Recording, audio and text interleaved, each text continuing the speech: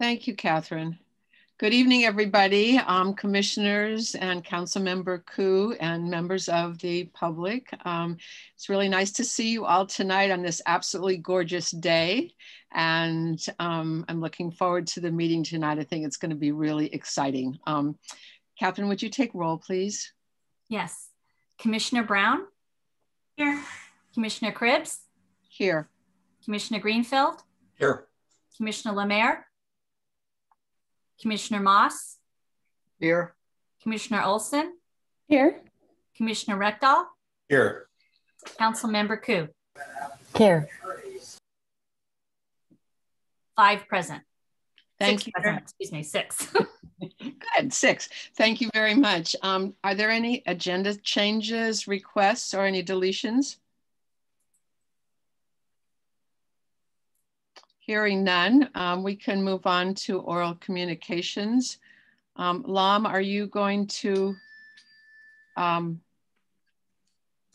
Yes, I will begin oral communications. And did you want to go with two minutes or three minutes?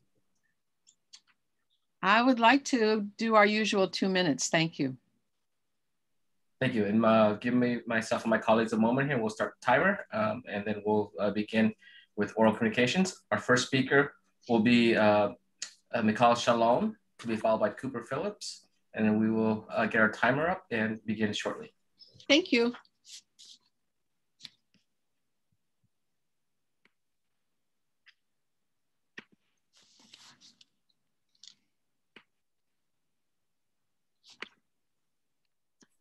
Hold on, I'm trying to find my screen.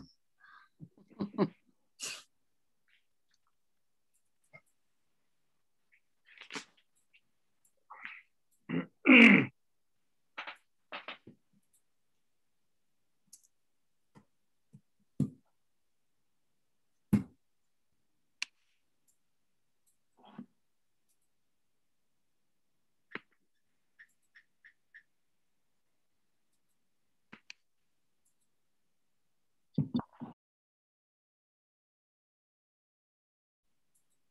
you seeing it? I'm seeing Watch Now from the Mid-Penn Media Center. Oh, okay. Hold on, let me stop.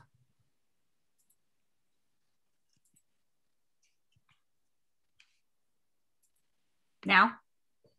Now I'm seeing the two minutes on the timer. Okay, perfect. Go ahead, Lam.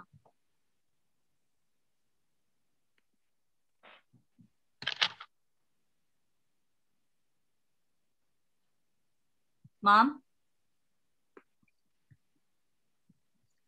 Did we lose Lam? I don't know. Uh, I am here. Uh, You can you can start.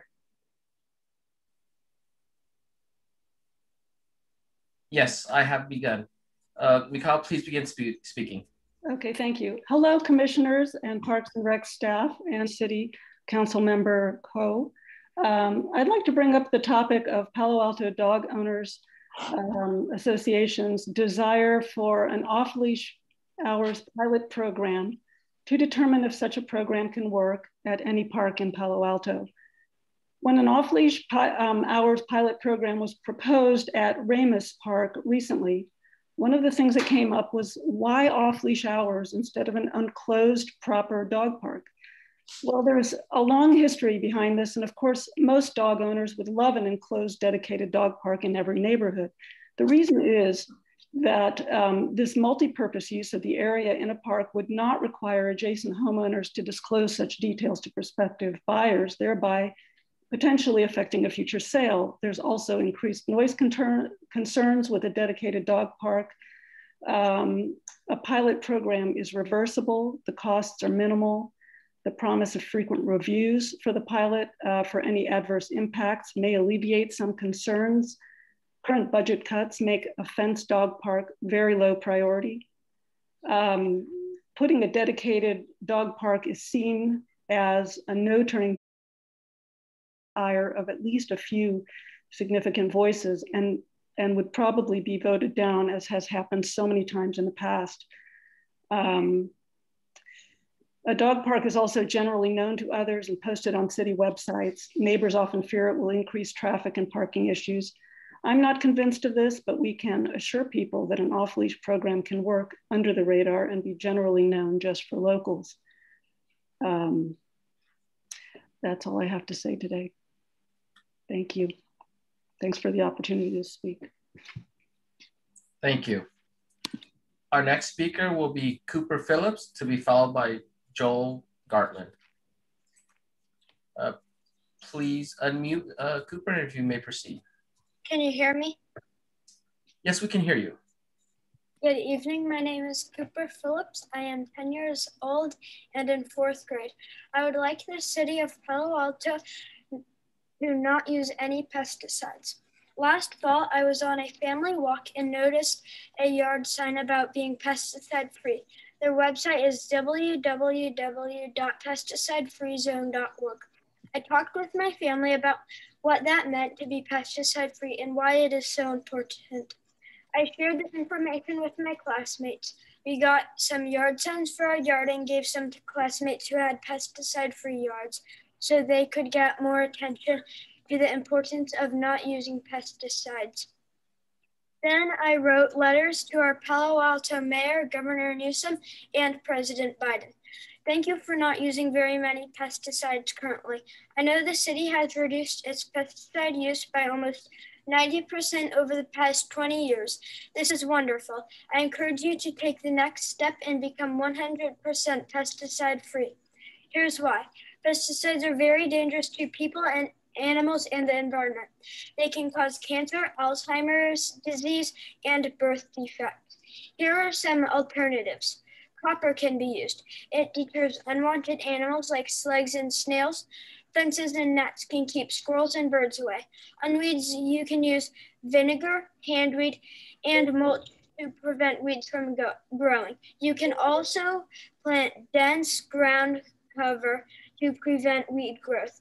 Palo Alto has really great parks. Please keep them safe for people and animals by eliminating, eliminating all pesticide use. Thank you. Thank you, Cooper. Our next speaker and final speaker will be Joel Gartland. Joel, uh, if you would please unmute on your end and you can begin. Am I audible? Yes, you are. That's a hard act to follow. uh, in March, um, I emailed the commission asking why Gate D between Arastradero Preserve and uh, Foothills Preserve was closed to people on bicycles when it's legal to ride uh, to both sides of the gate. Darren sent me some information from 2005 when the decision was made, some city council minutes and a memo.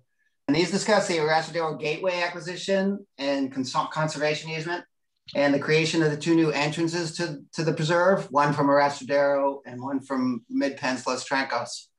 Uh, given that Los Trancos is currently closed to people on bikes, it made sense that that entrance was limited to walkers.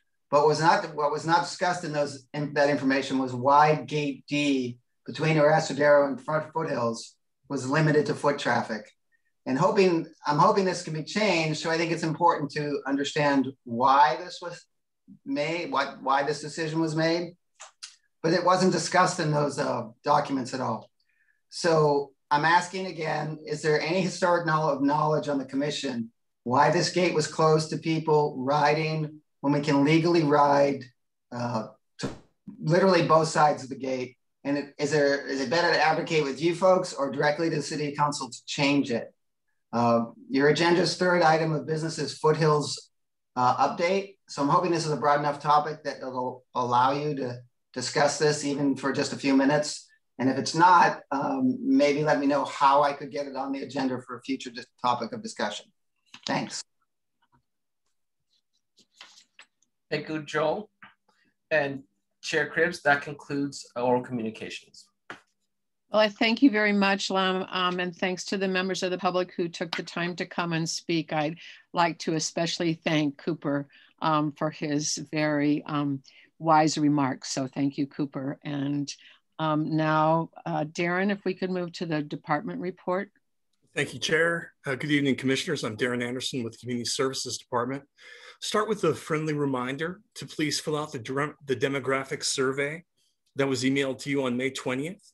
It was sent to all board, commission, and committee members as part of citywide race and equity work. Uh, the city clerk's office informed me that the mayor has requested all board and commission work plans be sent to the clerk by the end of May and that they would go on the council consent calendar for June 21st.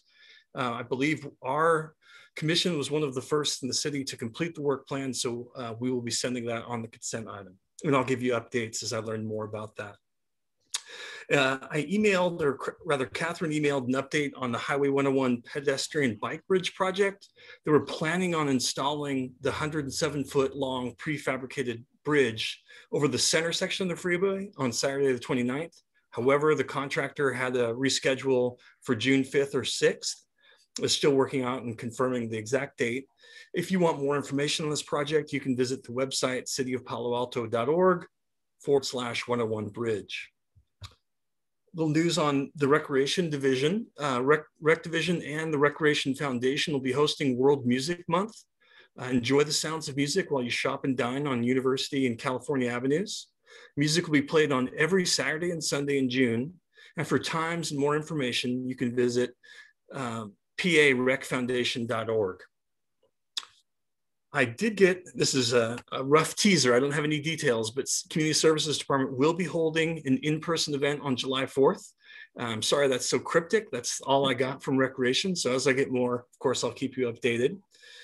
Uh, Cubberley has established uh, their expected reopening date. That will be Tuesday, July 13th, and we'll resume some limited rentals based on county and state guidelines at that time.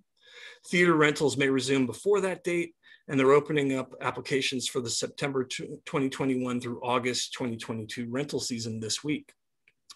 Uh, field allocation for summer season has been established and we'll be holding our fall season brokering meetings mid-June. Summer camps start the week of June 7th and summer class registration opens on May 27th for residents and June 3rd for non-residents. And lastly, bear with me just a second, Chair Cribbs if I asked if I would share a photo uh, from May Fete. And tell me if you can see that screen. Thank you, Darren, very much. I just wanted to share this photo because it made me so happy today to go pick up the signs that uh, are of my granddogs who occasionally reside with me in Palo Alto. And uh, the one on the left is uh, Harley, and the one on the right is Jasper in their costumes all ready for the pet parade. I want to thank the staff for the creativeness that everybody displayed and also the Palo Alto Recreation Foundation for the financial support. So I brought a smile to my face and I wanted to share it with the commission. So thank you, Darren, for making that happen. I appreciate it. Most welcome. And that concludes the department report. Okay, so moving right along to the business of the, the day. Um, um, Chair, yes. can we have questions? Oh, yes. Would you like to ask questions, David? Yes. Can you give us an update on the May Fete uh, that happened this past month? You know, unfortunately, I don't have a lot of details to share, but I'd be glad to send something out via email that I'll get from the Recreation Division. Yeah, it would be nice to know how many participated and and that kind of thing because it was so unique. Uh, I was really uh, uh impressed by it. Will do. David, there were lots of dog signs when I went to pick up mine today. There were two pickup times, one last week and one today. So there were a lot of dogs that participated. So that was good. Any other questions from other commissioners? Councilmember Kou, do you have any comments, questions? No, thank you. Thanks for the update, Darren. Okay, so then we can move on to the draft minutes. And um, I wanted to point out, um, and maybe everybody saw that we're moving to a different kind of minutes that will just reflect the um, actions that were taken and, and the votes. And um, I was a little bit hesitant reading that because we lose a lot of the background, but then I realized that we will have the videos to go back and look at if we, um, and I guess they'll be posted for a long time, Darren, is that the plan? I believe so. Just stay part of the city record. Um, and I think I think that's a good thing to try out. So um, other comments from other commissioners? How did you feel about the minutes? I like the verbatim minutes because I can go back and I can do searches for words and remember when something was discussed. And sometimes in a video, it takes a long time to, to listen to the whole thing to hear the gist of it, but you can go back to the verbatim minutes and very quickly refresh your memory of what happened. Yeah. I think that's a very good point. Was this a financial issue or we just thought this would be more concise? It was actually part of the new handbook as a mm-hmm. direction from council. Okay. the draft minutes that we're seeing feel kind of extra light and, and uh, certainly the, the verbatim the verbatim minutes are very heavy uh, and in detail and uh, and length and it'd be interesting to understand if there was some sort of a happy medium uh, that, that could provide a little bit more depth uh, as far as the minutes go. I agree. We can make a decision to do summary if that might be better for you guys. Yeah, I much prefer to see the uh, uh, the verbatim uh, minutes. So if there's if there's a way to still do the verbatim minutes, but send it to us alone, just to make sure that um, what we said was interpreted right and also, yeah, it's a reminder of what we what we talked about. I, I Catherine, could you elaborate on the uh, summary that you're just referring to? Um, it's basically what council does. So they do action minutes and summary minutes. They were actually surprised we were still doing verbatim minutes, but summary would give you more context to what was discussed, but not word for word because I, I, know that I've I've gone back to past minutes mm-hmm. a year ago uh, to see what what was said back then, and it was really valuable. Uh, so um, I think we're losing something. So how would you all feel about going to try the summary minutes along with the action minutes that we have right now and see how we feel about that. I mean, I, I, as I said initially, it was it was a little jarring to see the one page um, of action. So Darren, could we do that for a couple yeah. of months? Yeah, I think we can experiment with it. Um, there's a staff impact as well, but I think we can give it a, a fair shot and see how we do. And if it's effective at giving the commission what they need to. I'll double check with counts um, with the clerk's office because they did um, ask us what we were doing. They wanted a count of all the boards and commissions and what we were using because everybody uses Cybertary to do this. So I'll check with them. Yeah, and, and I'm, I'm curious if council in putting together the the BCC handbook had intended it to be just uh, action minutes or was intending to have summary minutes included as well. That I hadn't really comprehended the difference between the two and in reviewing more recent city council minutes was expecting something similar. And I'm wondering if that may have been the intent of it of of council when when they approved the BCC handbook. And council member Kou, I don't know if you have any comment on that. No, I don't know if that was the intention uh, either, although I've always valued verbatim minutes myself. Um, so I, um, I didn't kind of go along with that, but. Mm. So the recordings that are being made, um, they're hard to to uh, go back to. I don't even know how to do it really. So having the verbatim minutes was all I had. And when I first started on the commission, we had the summary minutes. And one of the reasons we went to verbatim is that Kat was spending a lot of time determining the summary and summarizing what we said and then mm-hmm. putting it together. And we just thought it was much better, uh, both from a staff standpoint and an accuracy standpoint, just to have verbatim minutes. I think if we go to summary minutes, the discussion period in reviewing minutes will be more active than it traditionally is where the want to make the commissioners may have comments to confirm uh, that some nuances may, may, have been included or, or left out of the uh, summary minutes. So that's something else to consider. I, I, think overall it'd be, it'd be great to understand, to get clarity on, on what council's intention is for the, the commissions and then and see if that if we can make that work and, and otherwise uh, work to adapt and figure out what's best moving forward and make a recommendation. Okay. I'll check on it. Okay. Sounds good. Thank you very much. Um, so is there a motion to approve the minutes?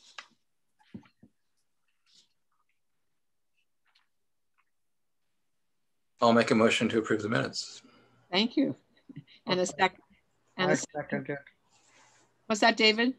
I second it. Thank you very much. And uh, Catherine, can you do a, a vote, please? Yes. Commissioner Brown? I was not here for that meeting. Oh, abstain. Okay. Commissioner Cribbs? Yes. Commissioner Greenfield? Yes. Commissioner LaMere? Commissioner Moss? Yes. Commissioner Olson? Yes. Commissioner Reckdahl? Abstain.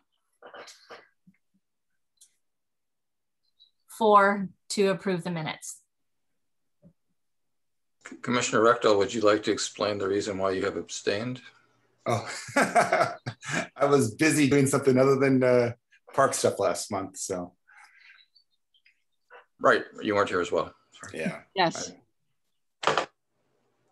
I, I apologize for that, but it happens.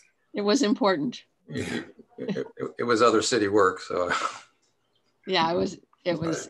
It was important. Okay, so uh, we know what we're doing with the minutes going forward. And Catherine, would you let us know what people, what the clerk's office says, and if we hear anything I, I, from the council as well?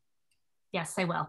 Okay, so that was a good discussion. Um, the next thing on the agenda is the ad hoc committee and liaison updates. Um, and we went to this format, suggested it last, I believe last month or maybe at our retreat. I'm not remembering quite yet, but um, I had thought that we were gonna send out a um, written opportunity to respond about what the ad hocs were doing and then take a couple minutes at our at our meeting to um, see if anybody wanted to add anything so that other commissioners could see what was going on. So um, that didn't happen and I didn't catch that. So um, today, if we could just uh, go around and if you have anything to report um, from your ad hoc, um, we can do that. And if commissioners have any questions, I believe that would be okay to discuss the questions. Am I right, Darren? Yes. Okay, good. So let's start with um, uh, the in alphabetical order, the Baylands Tide Gate. Um, Commissioners Greenfield and Reckdahl, anything to report? No status update there, waiting for uh, Valley Waters board to approve things so we can move forward. Okay, good. Um, Chair, I've just got a brief update on that. I, I believe Valley Waters Board did approve it and got an email that they are planning on bringing the park improvement ordinance to our June meeting. Oh, okay. I Chair and Vice Chair are okay with having that on the agenda. Yeah, I am. Vice Chair, are you okay with that? Absolutely. Good. Okay, good report. Um, the CIP review, any status update? Uh, we definitely heard from um, Lam, um, uh, but it's been, I can't remember if it was uh, this month or just before the previous um, meeting. Um, but there is there one more um, uh, milestone where the um, commission or the city council is supposed to uh, meet one more time sometime in the next week or two um, to do a final final on that CIP budget. And Chair, if you don't mind, just a, a little bit of information on that. The Finance Committee did their uh, budget wrap up today. Mm-hmm. And so their recommendation will be sent to council and it's June 21st, I believe. Uh, council will be reviewing operating capital budget. Great. Any other any other comments? Okay, hearing none, um, we'll move on to dog parks and restrooms. Mandy, any update from you?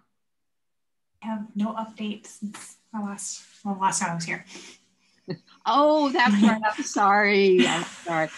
So um, we're working with um, the staff to schedule um, another meeting um, of the dog park situation. So that'll be coming up, but with all the budget hearings and all of the other meetings, uh, we've not gotten to it yet. Darren, anything to add to that? No. Perfect. Okay, fund development. Um, we did not meet, um, but as the liaison for um, the Park and Recreation Foundation, I attended their, um, I think it's been every two week meetings um, and learned about the support that they're providing for um, community service programs, including the May Fete and the upcoming uh, World Music um, festivals and whatever is going to happen on the 4th of July. Jeff isn't here, but Mandy, anything to add? Oh, I just asked you that, never mind. Um, the, the next one is Foothill Policy, Commissioner Greenfield, Moss, or Olson. Any updates? Yeah, we had a very long meeting. Um, in preparation for the presentation that we're giving today. And on top of that, um, we have started the process of, of uh, what kind, what research we're going to be doing for the end of summer and the end of the year. So uh, this is an, this is definitely an ongoing uh, process, and we have another meeting planned uh, this coming month. Thank you. Thank you. I know how hard all of you are working and how much time everybody's spending on this. So thank you for that. Um, Vice Chair, anything to add? Uh, just that we're we're focusing on the the leftover priorities uh, based on our, the last time we went to the commission and, and highlighted uh, specific areas that we'd be focusing on. So we're looking at these and figuring out the, the most expedient way to move forward on uh, items that we can move forward on. Okay, good. And Commissioner Olson? Uh, nothing else to add, thank you. Okay, thank you very much. Racket court policy. Uh, Commissioner Reckdahl or Commissioner Olson? Uh, nothing to report. No updates. Okay, and the last one is um, new recreational opportunities. And I would just start and say that most of our time has been spent this last month um, talking about the skate park. And uh, we have two really good meetings with staff who provided really excellent um, information about potential location and potential design. The next step will be meeting with um, Sam and his colleagues um, to hear exactly what they would like to see in a skateboard park um, and potential locations, which is going to drive the cost. Um, so it's exciting, and I think we're moving forward. Um, Commissioner LaMere is not here yet. Um, Commissioner Reckdahl, anything to add to that? No, it's a good summary. Okay, thank you. Well, um, I really appreciate everybody um, speaking up and talking about their own ad hocs. It's really helpful to hear what the other ad hocs are doing. Um, so thank you all for that. We can kind of review and see if this method works or we want to go back to the written reports um, or there's a um, hybrid thing of doing both. So we can discuss that next next time, next meeting, unless anybody has specific thoughts right now about that. I do have a couple of liaison updates to add as well. You'd like to. Good. Uh, regarding safe routes on last Friday, May 21st, was Bike to Wherever Day. Uh, this is replacing the tradi more traditional Bike to Work Day uh, as uh, transportation habits have changed over the past year. There was a modification. It was nice to uh, get an, it's an annual event to encourage commitment to bicycle transportation. It's nice to see that uh, out and happening back in the streets. And there were some city staff and uh, members of the Silicon Valley Bike Coalition out in force, uh, handing out bags. Uh, also, there's a South Palo Alto Bikeways project that's underway. Uh, it's, it's a conceptual plan development targeted to end uh, by the eh, by August of this year. It includes a survey. There's a meeting, a, a, virtual route tour this Thursday at 6:30 p.m. Uh, that'll be repeated on May 22nd, and there's a, a summary meeting coming on June 22nd. Uh, this does include a linkage to the 101 bike pedestrian bridge, hmm. uh, which is which will be very nice. And if anybody's interested in more interest in, in, more information on this, you can go to the city website and just search for South Palo Alto Bikeways and find out, figure out where to go from there. Also, uh, as field users liaison, we're continuing work on new signage for Cubberley turf field and uh, running track there's some questionnaires about the, what the specific guidelines should be. Uh, so I'll be meeting with staff uh, soon to discuss this further. And that's all. Um, Jeff, are the lights still being used at night or are they done now that it's daylight savings time?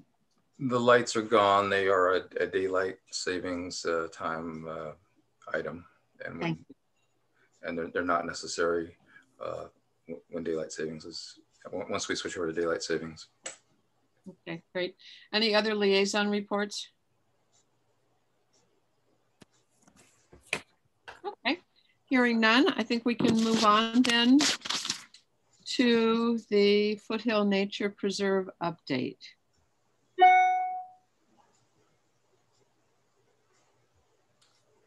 All right, Chair, thank you so much. Um, good evening, Commissioners. Daren Anderson again from Community Services. We've got some special guests helping present this item on the Foothills Nature Preserve update this evening. We have Park Ranger Catherine Caldwell, who will provide you an update on visitation at the preserve. Alex Von Feldt, our executive director from Grassroots Ecology, will be talking to us about environmental monitoring efforts at the preserve, and Elliot Wright, executive director with environmental volunteers, who will tell you about an exciting new video in Foothills Preserve that the environmental volunteers and a lot of other wonderful volunteers helped create as well as a new program that the city and the environmental volunteers are collaborating on called the Trail Ambassador Program. Rather than reiterate a lot of information that was in the staff report uh, on this topic, the majority of the presentation is going to focus on our guest speakers uh, and providing plenty of time for the commission to ask questions to those speakers. And I'd like to thank our guests for being uh, here tonight and presenting and to acknowledge them and all the participants on the stakeholder group as I noted in the staff report, the city manager assembled a stakeholder group in January 2021 to identify and recommend potential improvements at Foothills Nature Preserve. And the group has representatives from Grassroots Ecology, Friends of Foothills Park, the Environmental Volunteers, Stanford University Haas Center for Public Service, Jasper Ridge Biological Preserve, the town of Los Altos Hills, and our very own chair and vice chair of the Parks and Recreation Commission very grateful for all of your support. They've been giving so much of their time and energy um, and just wanted to send that sincere thanks. And now I'm going to pass it over to Catherine Caldwell to provide some information on, on Foothills visitation. Hi, good evening. I'm Catherine Caldwell. I am the acting uh, supervisor for Foothills. I also um, uh, kind of run and analyze our statistics program. So I uh, collect all the statistics that we get, and then at the yearly in a yearly memo, I um, present this to Daren and let him know exactly what we've been up to for the year. Um, so far, uh, it has been uh, um, much busier than we used to be. We're seeing very increased visitation uh, given um, that we are now open to a much wider uh, population. So, so far, we've had about 124,000 guests in the park so far uh, in our first four months of operation, so from January through April. And when you measure this against 2020, this was a 322% increase from the same period of time. So we're seeing a lot of people and that number is a little skewed because we, of course, were closed and severely limited due to the outbreak of COVID 19. But if you still compare this against the historical average, we're up 193%, uh, almost you know three times as busy as we've had in the past. Um, we have had closures for capacity. It was very common during the first four months of operation. We would have closed for 16 times. Uh, on the weekends, we were sometimes closing two or three times a day due to reaching capacity when visitors came. So we were shutting down the park and waiting for people to leave and then reopening, and we were still reaching our full capacity for that time. And it took a while to kind of get that tuned to where we were only doing that once. And now we haven't had um, any kind of closure due to capacity, except for our last one was on April 5th, which was our Easter weekend, and we expected that to be busy. Um, we have been able to, since we started selling passes, um, we've had admitted 13,000 cars on weekends. That includes all kinds of entries. Only 725 of those have been our annual pass program, which make up the vast majority of the um, free free entries for the park. These are just not charged at the at the main entrance booth. So they make up 5% of about five and a half percent of all total weekend entry.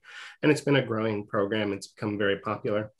Um, and then the all other types of uh, free passes only count for 1.5%. So that includes students, veterans, um, people with ADA placards, and uh, active military uh, don't charge an entry for, and that's about 1.5% of our total.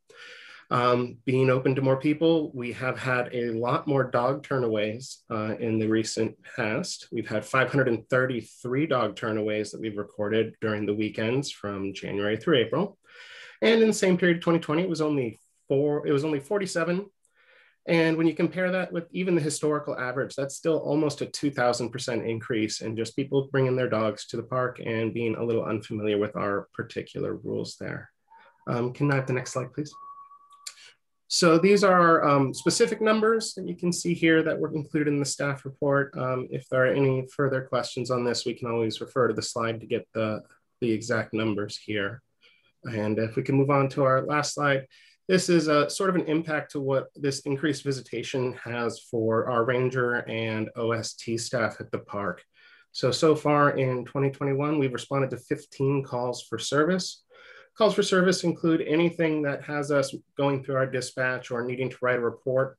And these include everything from our emergency medical response, missing persons, violations of park rules, responding to fire calls, smoke checks. This is what um, we go out and do and document our response in taking care of the park and managing all the things that go on in the park. And we've um, seen a significant increase in that. From our historical average, we're up 50% from this same period. And this is um, this is a lot more work for our ranger staff writing these reports. Uh, one of our most common uh, violations that we've been dealing with and complaints has been parking. We've recorded over 200 parking violations, and this goes far and above anything we've ever recorded as far as parking violations, which can be less than um, a 10, a two digit number, less than 10 in a given year. But we've issued 175 written warnings that we've recorded for people being parked in red zones, uh, people being parked in parts of the um, park, like just into the road and other no parking kind of areas. And 27 of these, uh, the ranger decided to issue an administrative citation uh, as a method, which includes a lot of um, backtracking to, for the administrative citation process. Each of those takes about uh, 45 minutes to an hour to complete the full report for. Uh, and our entrance operations now are composed, are very focused on operating the main entrance at Foothills. Normally in previous years, it could be run with as few as one staff member, now it takes about three to five staff members just to operate it safely because we have to do the cash handling very carefully to make sure that we're doing it uh, properly. We have to maintain safety for the road because uh, we have a very small uh, turnaway for the park. So you'll have a lot of people who can back up onto Page Mill on a hairpin turn. And with a lot of people, um, that becomes a very unsafe turn. So we want to move that line as quickly as we can while still maintaining the cash handling. And, and of course, all of these extra people require a bit more visitor services attention, a lot more orientating of people to the trails, which requires another staff member's attention. And usually we want to be able to give these people breaks. So right now to safely and efficiently operate, um, we require about three to five members. And this goes beyond right now our staffing with rangers for the weekends. We've been having a lot of support from other members of CSD who are using their time on their weekends to assist us with staffing. And of course, uh, Council Member Cormack has volunteered her time quite generously to support our operations up there. Um, with all of this, this means our attention on Arastradero, which is a responsibility of our office, and even Foothills has been severely limited with all of our attention focused really at that uh, main entrance. Rangers are often not getting out to check on the parks and just do those uh, proactive patrols. We're mainly reactive and staying in that booth and making sure that our staff is looked after and providing a point of contact for the public. So patrols of our other preserves have become severely limited on the weekends, and a lot of those responsibilities have been pushed further into the week. Um, that includes our responsibilities of our OSTs are now focused almost entirely on weekend operations, and they have less hours to operate during the middle of the week to do other kind of park improvement projects or maintenance projects. And of course, with increased uh, use of the park, we've seen our janitorial costs increase, and that also includes increase due to the cost of COVID sanitation and maintenance and increased uh, excuse me, sanitation requirements there.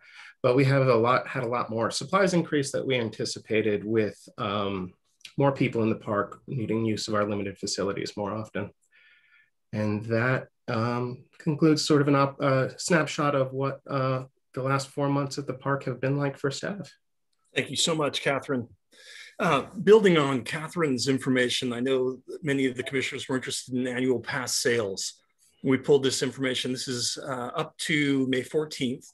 Total of 482 annual passes have been sold, and you can see for yourself the breakdown on residents versus non-residents. And we'll, um, fortunately, this was a really easy one to query. Or recreation staff could pull this information uh, really efficiently and quickly because we use our own system uh, for the sales for the annual passes. We can come back to this if there's more questions. But at this point, I'd like to turn it over to Alex von Feldt to talk about environmental uh, update. Alex? Thanks, Daren. Uh, so when uh, last fall, uh, when the city decided that they were going to remove the restriction, um, Daren uh, you know, reached out to us to figure out what we could do for um, environmental impact monitoring. And uh, Grassroots Ecology is the, um, we're the organization, nonprofit that um, stewards the site, um, all with you know, community volunteers, and we provide a lot of that sort of that knowledge. And so knowing that there wasn't any extra budget, we tried to figure out what we could do within um, our current staffing. And so some of the um, the measures that you'll see today are what we can do given our current budget. So they don't reflect an exhaustive um, environmental impact monitoring that you might see on a bigger project. So that being said, um, the main impacts that we've seen probably aren't too surprising. I mean, it's mainly the trail widening that's been happening in a few places, primarily the Chamise Trail that goes from Vista Point um, to the lake because that was such a popular place for people to park and want to go and, and see the lake. So you can see in those photos between January and April some, some of the impact there. Um, the good news is that uh, no, none of the special habitat areas that we've been monitoring have been impacted. Um, and you know, we as the some of the attendance is kind of going down a bit. We're keeping an eye on these areas to see whether invasive species come in or if the um, if the land kind of heals itself. Next slide, please. Thanks. Oops. There we go. And then there was also a lot of social trails happening. That basically means when people were making their own trails from the parking lot down to the lake again. And you can see again in January what that was looking like. But um, the, the park staff put up some, you know, the yellow caution tape and a lot of signs. And you can see that uh, people pretty much adhered to that. So that um, that social trail was healed by April. So that's great news. The other part that we were going to be looking at um, were the invasive species because that's always been, you know, Foothills uh, Nature Preserve is so remarkable for the biological diversity of this in the park. And so the Friends of Foothill started this and we've continued where we're really controlling non-native invasive plants. So we want to make sure that, you know, they aren't coming in more often with, with more visitors. But it's still, by the time we were doing this report, uh, some of the target species that we're looking for, including yellow star thistle, Italian thistle, um, and, and Trichia, haven't um, been uh, haven't germinated yet. So we're going to be keeping an eye on that. We'll provide more updates as we go forward. And one of our um, main species um, that in the park that's rare is called the Dirca occidentalis or the Western leatherwood. And um, so we were concerned, you know, that this uh, might be impacted, but uh, we've been mapping um, the, the locations of this plant as we have in previous years. And it looks like there's no impact and even new plants were, were coming up. So that was good news as well. And then finally, um, you know, what again, what how we've been stewarding Foothills is basically bringing out just tons of volunteers every year to remove non-native invasive species, install native plants, and also learn about the local ecology.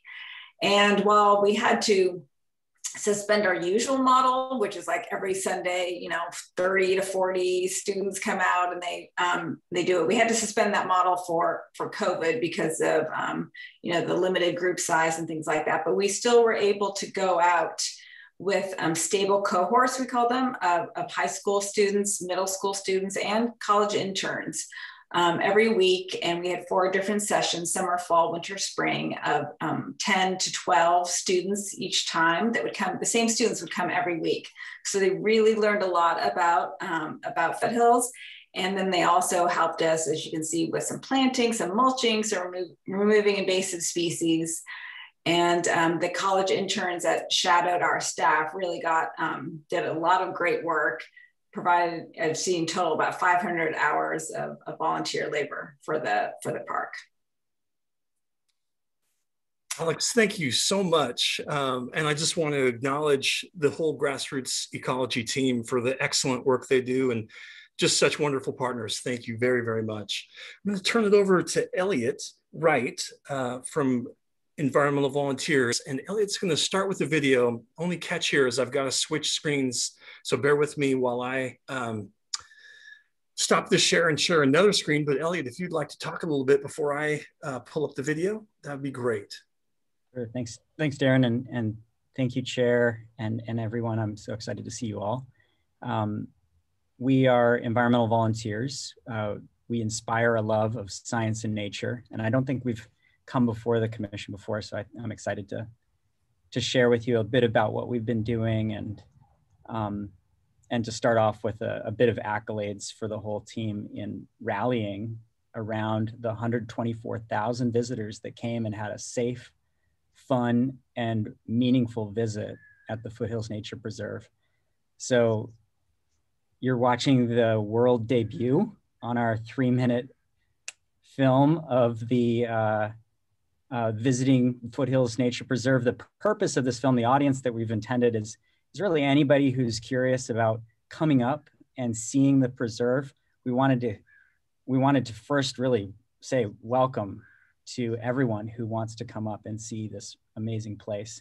We also wanted to sort of lay out some of the neat opportunities that are there and quickly list some of the uh, do's and don'ts or the, the places where we want to be mindful uh, when we come up to the preserve. So without further ado, the film.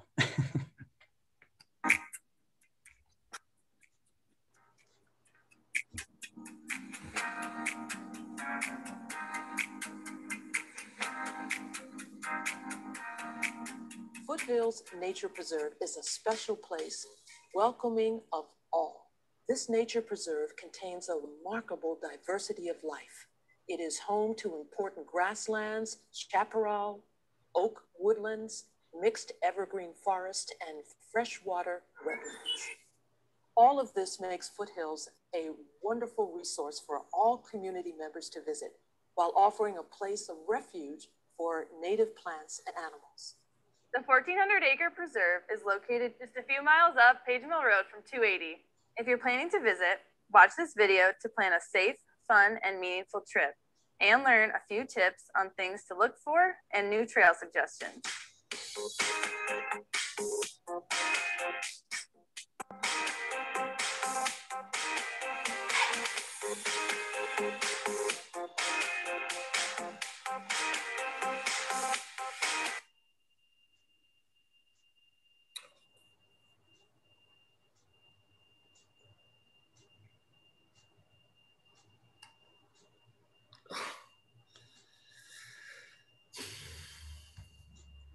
all right, Daren. Uh, it's a it, it'll it's a it's a great video. Um, let's see. Uh, oh, let's see if this one works. In order for everyone to enjoy their experience, we need your help. At Foothills Nature Preserve, we are focused on leave no trace principles, and we want all of our visitors to recreate responsibly. Here are the main leave no trace principles to remember. Plan ahead and prepare. Stay on marked trails, park only in designated parking areas. Dispose of waste properly. Always leave what you find. Respect and do not chase or harass wildlife. Always be considerate of other visitors.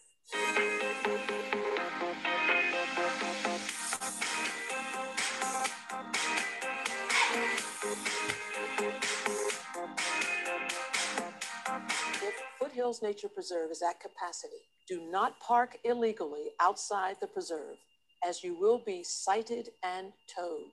Hazards like ticks, poison oak, and rattlesnakes are common at Foothills Nature Preserve.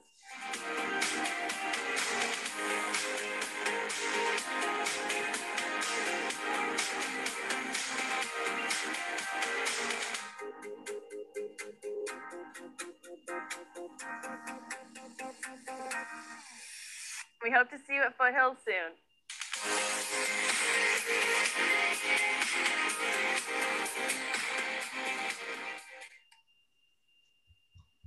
Great. Thanks so much, Daren. Uh, hey, cheers to all of you. Um, the uh, the exciting thing is th this was our attempt at sort of uh, you know Yosemite quality when you visit the park, here's a few things to think if you're coming, you know, coming to see the Foothills Nature Preserve. I am excited about uh, how we're going to get the word out from tonight about this. I think that we have a great opportunity to welcome even more people um, in the in the last uh, several months of this year, and particularly through some of the busy months of summer. Um, so, if we could go to the next slide, I'll detail a little bit about the Trail Ambassador Program. Really, the focus of this is to try to train our on the needs that Catherine listed in her report on challenges that rangers are feeling. And so the focus of the Trail Ambassador Program is to try to meet with folks that are coming up to the preserve who have questions and to try to help out with those common questions such that the, the rangers get a little bit more freedom to achieve their goals for the day. And so we focused our efforts to bring um, trail ambassador leaders to uh, a few sites. Some are walking volunteers throughout the preserve.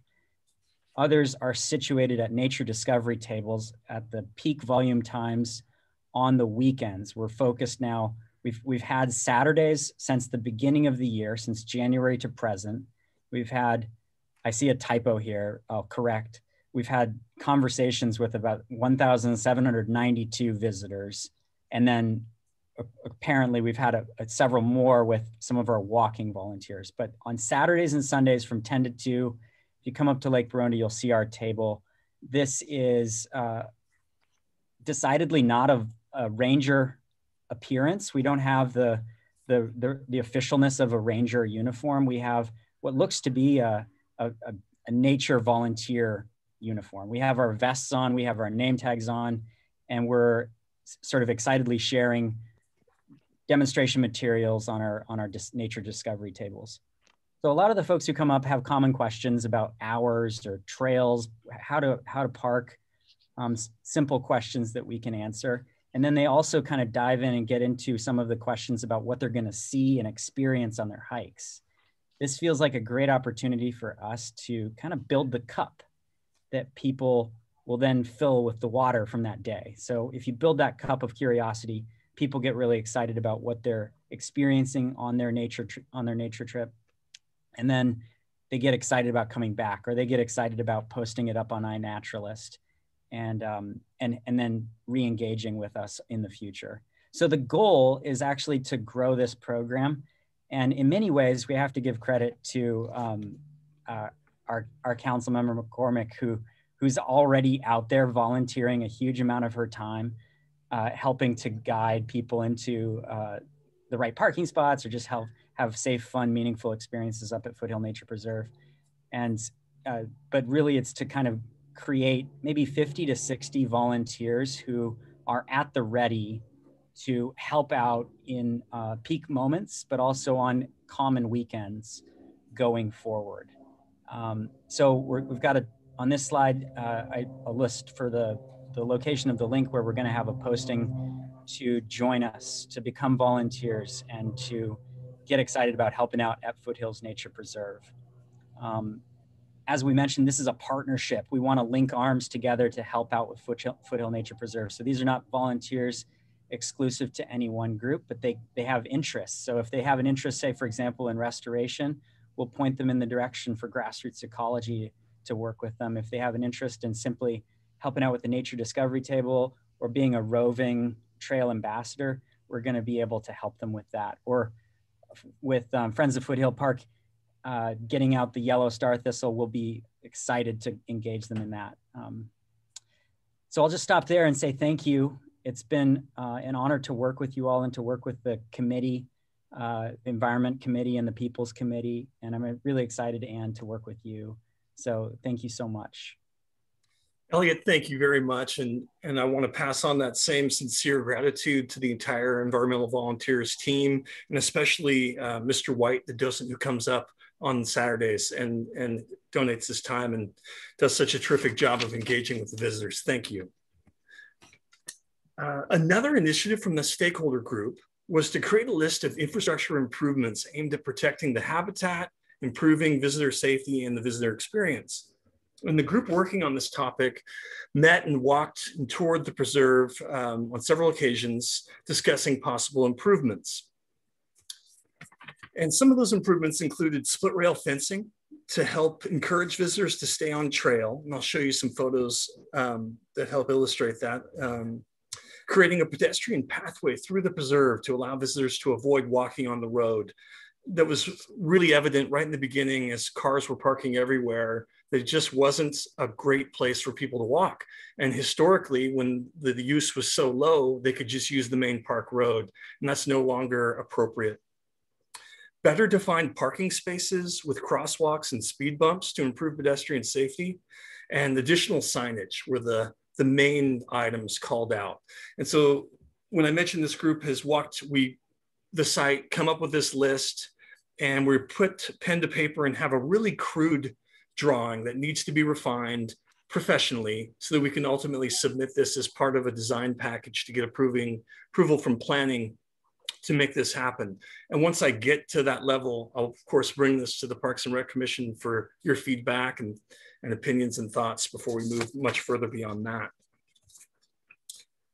And this is a photo um, where the fencing is. So you can see on the left, we've got this temporary fencing, which is caution tape and T-stakes that was surprisingly effective, although not labor free. The Rangers spent a lot of time putting it up and to maintain it, they've got to come out periodically and fix the tape and, and make sure, but it has been effective.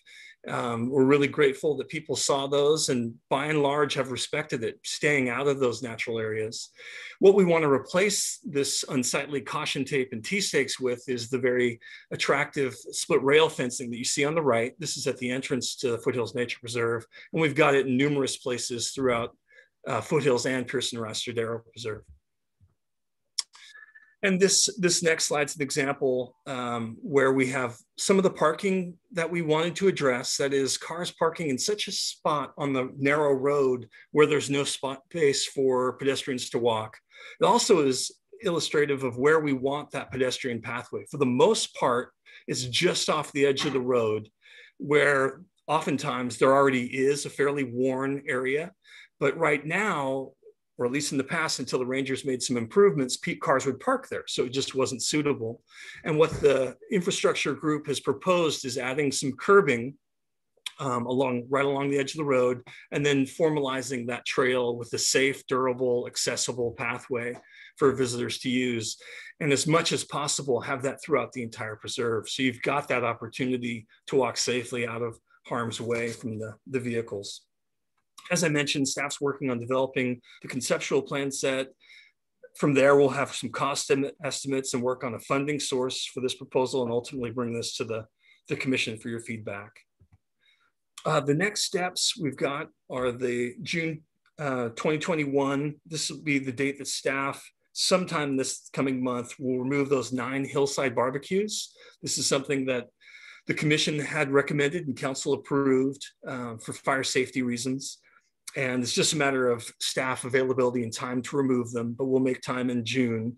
And right now, all those hillside barbecues are bagged, so no one's using them. Um, so we, we're still um, meeting our fire safety, but we want to remove them so that we don't tempt folks. Uh, June 24th, that adopted ordinance that council approved on May 10th will take effect. And on August 21st, um, I hope to be bringing approximately around that time frame those infrastructure improvements uh, for your review from PRC. And that concludes the staff presentation, Chair. Thank you so much, Daren. Um, I, I just love to say that, first of all, I'm really excited to see the progress that everybody's made um, and congratulations to everybody. Um, secondly, I'm very excited about the relationships and partnerships that have been developed with the community groups and with the um, environmental groups. And I think it's going to serve Palo Alto very well in the future. So I'm really pleased about that and looking forward to seeing, hearing the next steps. So thank you so much to everybody who participated in the presentation and to the video folks too. Um, I love the video and I think it, it will serve the purpose that we want to have it serve. So just a few comments. Can we now go to any members of the public who would like to speak before we go to the commissioners to uh, for questions and comment? Lam, could you help with any members of the public who wish to speak? Chair Cribbs, at this moment, there are no requests for uh, to any members of the public to speak. Okay, well, thank you very much. So we can go to um, the commissioners and maybe start with- Chair, we just have a hand raised. Oh, okay, I didn't see that. So thanks for letting me know. Go ahead. That's all. Um, would you like, uh, we'll go with the two minutes again? Um, yes, please. Okay, and uh, my colleague will set up our timer and then we'll, um, our one speaker and final speaker on Foothills Nature Preserve will be Joel Gartland. Joel, give me a moment here, and if you would, I will allow you to unmute, and I'll I will cue you when to begin.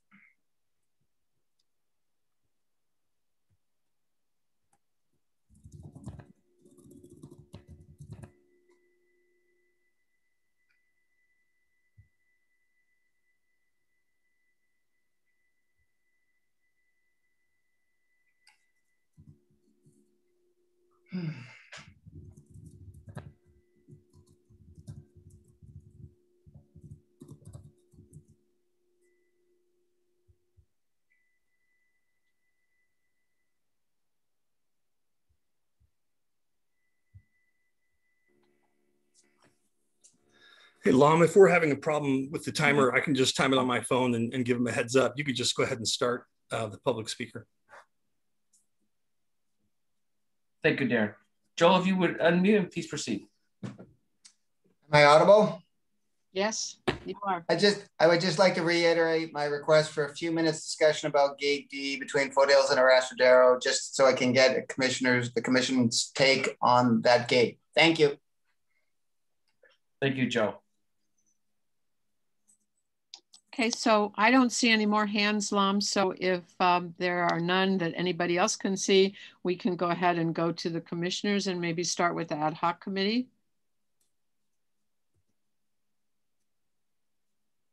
and I can start. Um, I am so excited about our partners. Yes. We could not possibly do this without them.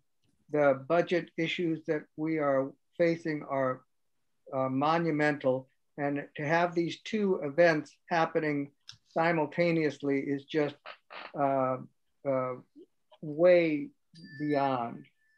And uh, so I really appreciate all of the volunteer work and not only that, but um, when Catherine Caldwell mentioned that uh, we have so few, we need so many more rangers, three to five instead of one to two, they're coming not just from Arastradero, but also from the Baylands. So um, we, even though we don't have the money, we still have to spend uh, uh, staff time to keep uh, the place safe and clean. So I take my hat off to, to uh, staff um, for doing this in spite of all of the budget issues. Uh, and the city council is doing what they can. I'm also very pleased to see the number of annual passes that are being sold. I'd like to see 10 times that many, but I'm, uh, I think over the summer, uh, we will have, there will be more sold. Um, the other thing is that I saw with all the dog uh, turnaways that this is a major uh, issue and anything we can do to um, uh, to give people a heads up. And I really appreciate the video from uh, environmental volunteers where they mention that. And uh, I'd like to put stars and asterisks around around those um, that because it is such a big issue. Um, and as far as the grassroots ecology, looking at uh, for invasive species and, and dealing with social trails, uh, we have to do that. And they're doing a fantastic job. And the best thing they're doing is in spite of the, in spite of the COVID and not being able to have their usual work parties, they still managed to come up with a, uh, a cadre of what she called stable interns, which is just a fantastic thing and uh, very um, uh, really terrific. And I hope we can keep that up for forever.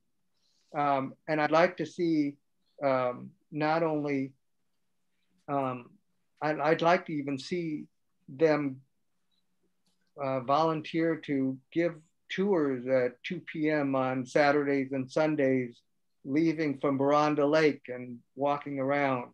I think guided tours would be really terrific, but you need the volunteers. Um, so I'll leave it at that. Oh, there's one other thing, and that is that I went to a Jasper Ridge Biological Preserve uh, meeting, and they had uh, someone from the uh, they called it the Santa, uh, Santa Cruz Mountain Stewardship Network and also the Santa Clara Valley Open Space Authority. And they're trying to do a stewardship assessment. And the big thing about this is that they need test cases. They need uh, what we're going through to help other organizations throughout the Santa Cruz Mountains to better deal with, with the issues that we're dealing with. We are a test case. Thank you. Thank you, David. Um, Commissioner Olson. Hi, everyone. Um, well, Catherine, I want to thank you for all of that data that's been gathered by your team. It is incredibly helpful when we are uh, in the ad hoc, trying to, you know, prioritize things to, to sort of see how the data is coming out. Because I know we've all visited the park and we have our own sort of, you know, experiences there, but having that data that's been aggregated over time is really invaluable. Um, I had the opportunity to um, camp at the park the weekend before this last one as well. So I got to spend a lot of time out there and um, was so impressed with the the rangers who were there and just their their way of approaching people and how um, you know what a wonderful staff that we um, have there and so just am incredibly grateful um, and i'll also say you know kind of before i had spent a whole weekend out there. You know, I knew grassroots ecology had done a lot, environmental volunteers did a lot out there. But when you really see all the people on the ground and how it all comes together, it's just so impressive. Um, you know, I went out in the morning on uh, Saturday and saw the volunteers out there picking out, you know, amongst the grasses. And I came back much later and they're still all hunched over picking out grasses. And I was like, oh, wow, that is some hard work. so just um, thank you so much for getting folks together and doing something that's so valuable to the community. And um, I, I, really appreciate that. I got to, to got dragged over to the discovery table as well by my my kids who were just fascinated by the the eggs and the skins of the snakes and things. So um, definitely encourage everyone uh, listening to this to get out there and really enjoy it.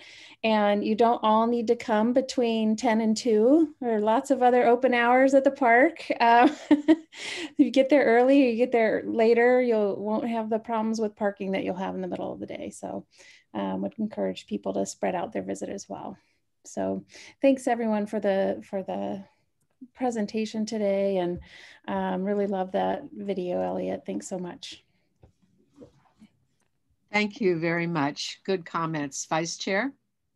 Thank you. I, I want to uh, continue in, in, the same vein as the other commissioners and really thank the, the stakeholders, partners that uh, we, we have helping us out. Uh, we're, we're very fortunate to have the, the key partners we have in grassroots ecology and in environmental volunteers. It's, it's an outstanding service to our community, and and it, equally and, and and more effusive thanks for for the ranger staff that's really had to jump through a lot of hoops uh, since the in, in the past number of months since since the park has opened. Uh, there's been lots of work happening in in many spheres in a in a short amount of time, and uh, it, it, it's it's great to hear the data. That was very useful. It feels like we're on the right track, uh, not without much ado. And we'll wait and see what happens this this summer uh, as we expect visitation to increase and continue continue to adapt as needed. Uh, but it, it, it is very, it is very encouraging.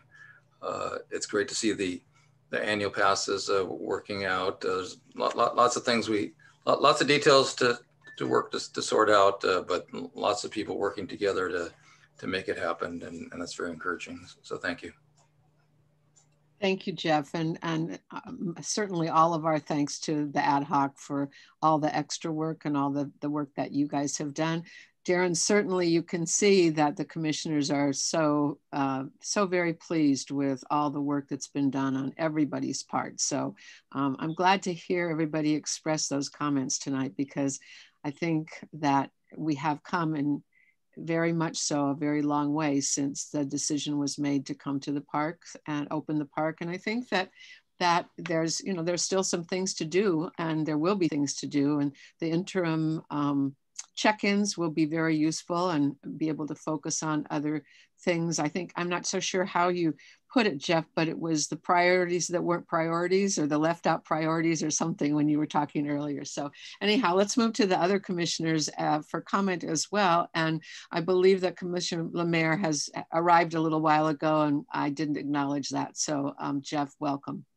Um, and since since you're here, um, you were on the original ad hoc committee that made the recommendation to open the park. Do you have some comments or questions tonight?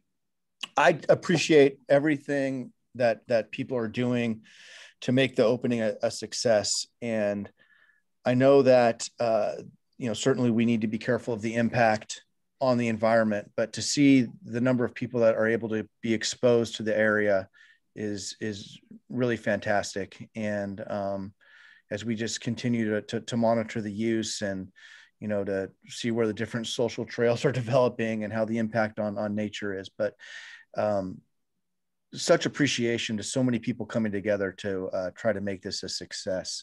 Um, I, I, only actually just had one quick clarifying question. Um, what would be an example of an administrative citation that that would be written, and, and what what would that be, and and why would it take the time that it does? Sure. So our most common admin, administrative citations are a remedy that we can, or not a remedy, but um, a form of citation that we can use in our toolboxes as employees of the city instead of issuing a citation as a notice to appear in a courtroom, um, which would be common for an infraction or a misdemeanor to then go to court and argue it out. An administrative citation is handled within the city by um, our, our own legal staff. So essentially, it's a, a different pathway for um, dealing with the citation and the violation that keeps it within the city and a little uh, smaller kind of area for the infraction level. Um, it takes a long time to process, particularly parking violations, because of the requirements uh, for that report include things like the registered owner's information, which we have to run through dispatch. Um, and depending on how uh, impacted dispatch can be, we're not necessarily for a parking violation a high priority for them to run information for. And that's to uh, process that citation so that it'll get to the right people. And that requires, unlike a normal parking citation, which can just be written out on the paper and then uh, issued, it requires a full report, which includes a full narrative of what I did as, or what any of the staff would do as a ranger, including, you know, coming on scene, describing the violation, saying what you did and doing a full uh, narrative report for the whole process. So it's, it requires an amount of paperwork. And right now our, um, uh, right now, administrative, as far as parking goes, administrative citations are our only uh, citation that we can use. So it, it becomes a time consuming process for that. Thank you so much for that explanation. And thank you, Chair. Okay, thank you very much. Um, and uh, Commissioner Brown, comments, questions? What a presentation and what a team. It's so impressive and thanks to all your hard work. Um, I particularly like the analogy of the cup and filling the cup because when all these people that are visiting the park, when their cups full, they're going to want to give back and volunteer and be part of the um, part of this amazing team. Uh, I particularly enjoyed the data. Thank you so much. I, I, the percentages, of course, can be overwhelming, but there's obviously a learning curve and how to enjoy the preserve. Um, and I'll look forward to seeing uh, the story that that data tells in the future. So thank you to everybody. Thank you very much. Commissioner Reckdahl? Yeah, again, I thank everyone for their hard work. Uh, I knew we'd have a lot of challenges when we started, and we've done far better than I ever expected. So I thank all the people who've been doing hard work. That includes staff and also the ad hoc. Um, Daren, you mentioned about the annual passes. Uh, the, for the non-residents, what cities are they coming from? Have you looked at that distribution? No, I, I haven't got that. Uh, I can check to see if they can pull that, but I'm not quite sure because one of the concerns was that they would just be coming from all the neighbors and basically th this opening would benefit Los Altos Hills and not benefit EPA. It'd be interesting to see if they are spread over the area or whether they are just very close. Can look into that. Okay. Uh, one of my remaining concerns is finances. When I hear that it takes three to five rangers to run the front gate, and when I look at all this the fencing that we want to add, look at all the trails we want to add. Uh, I don't know how we're going to fund all that, and how are we doing overall? Does, does it? Are we deep in the hole, or are we going to be able to manage this in a timely manner? It's a complex question. I don't have the answers to, to everything. I can tell you I have some resources come at the beginning of this next fiscal year to address some of those infrastructure improvements. For example, uh, the fencing. I believe I'll be able to handle that with existing uh, capital budget. Um, others are going to be more complicated. The parking, for example, um, could be more expensive. I probably need some analysis from a professional, uh, mean, meaning I have to hire a consultant. Um, some of the larger capital expenses haven't gone away, like the re replacement eventually of the three restrooms in the preserve. Those will have to be done eventually. I think we can limp along a little bit longer, but not much. Uh, the added cost of things like janitorial, we're dealing with that right now. So as Catherine pointed out, we've been limping along with support from other admin um, staff or CSD staff, for example, custodians at Cubberley. While Cubberley was closed due to COVID, they've been instrumental in helping out in other areas, in particular open space to clean restrooms. Now that they'll be pulling back to their regular jobs, we've got to find another way of meeting that. And we're juggling that right now. Um, it's about fifty to five thousand dollars for the additional cleaning work. So we've got to either handle that with staff, um, volunteers, extra help from the Cubberley staff helping out one day a week. We're kind of working through that right now. Are we neglecting Arastradero or Baylands by having the rangers come up to foothills? Yes. Yes, I, I, think it's fair and accurate to say the extra demand and the focus on foothills has been to the detriment of attention that would otherwise have gone and spread out amongst the other preserves, which will eventually lead to a backlog both of maintenance and issues from lack of attention. Um, of course, we're cognizant of that. We want to address that. So whenever we're capable, we're pulling staff away to help be at these other locations and do the work that needs to be done.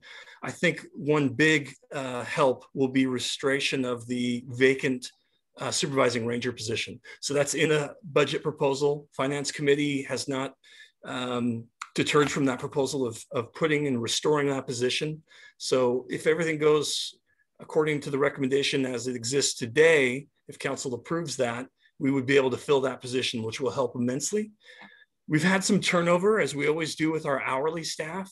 Um, but if we get those positions filled, and I'm really grateful um, that our department head and our review committee, we have an employee uh, review committee that looks at all vacant positions, even hourly ones, and scrutinizes whether we can fill them.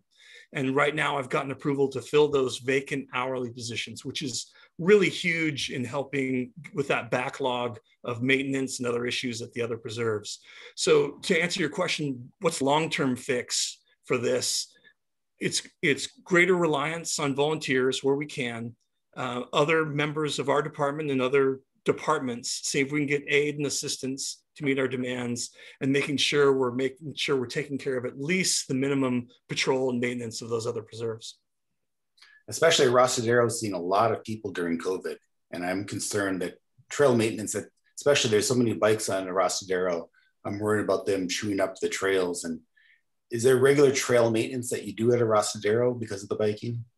Yeah, gratefully, that's not an area where we've had cutbacks. So we've got a contract with a trail maintenance contractor, and that was not reduced. And so the maintenance of the trails at Foothills and Pearson Arastradero will continue. So we'll, I think we'll be on good ground in terms of trails.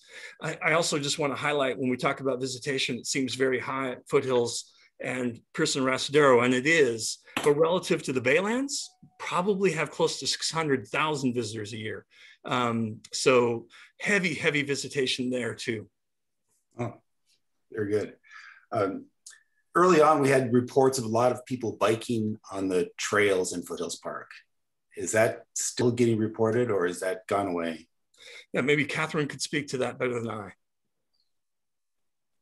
Uh, re reports continue. Um, we, it's people on trails have uh, long been a common complaint that's called into the ranger office that we do respond to. Um, there's there has been an increase, but it more in line with just with the number of people you would expect more of this kind of call. There isn't anything in particular about being overrun with bikes on trails, but it is something that we are we respond to when we have the opportunity, but we don't have the opportunity right now on weekends in particular to get beyond the station or even really out of the truck to go walk those trails, which is the best way to encounter cyclists on trails is to actually be there and meet them because otherwise it's very difficult to find a good intersection and where to contact someone. But it does continue, um, but not remarkably higher than any other of our violation contacts than we track.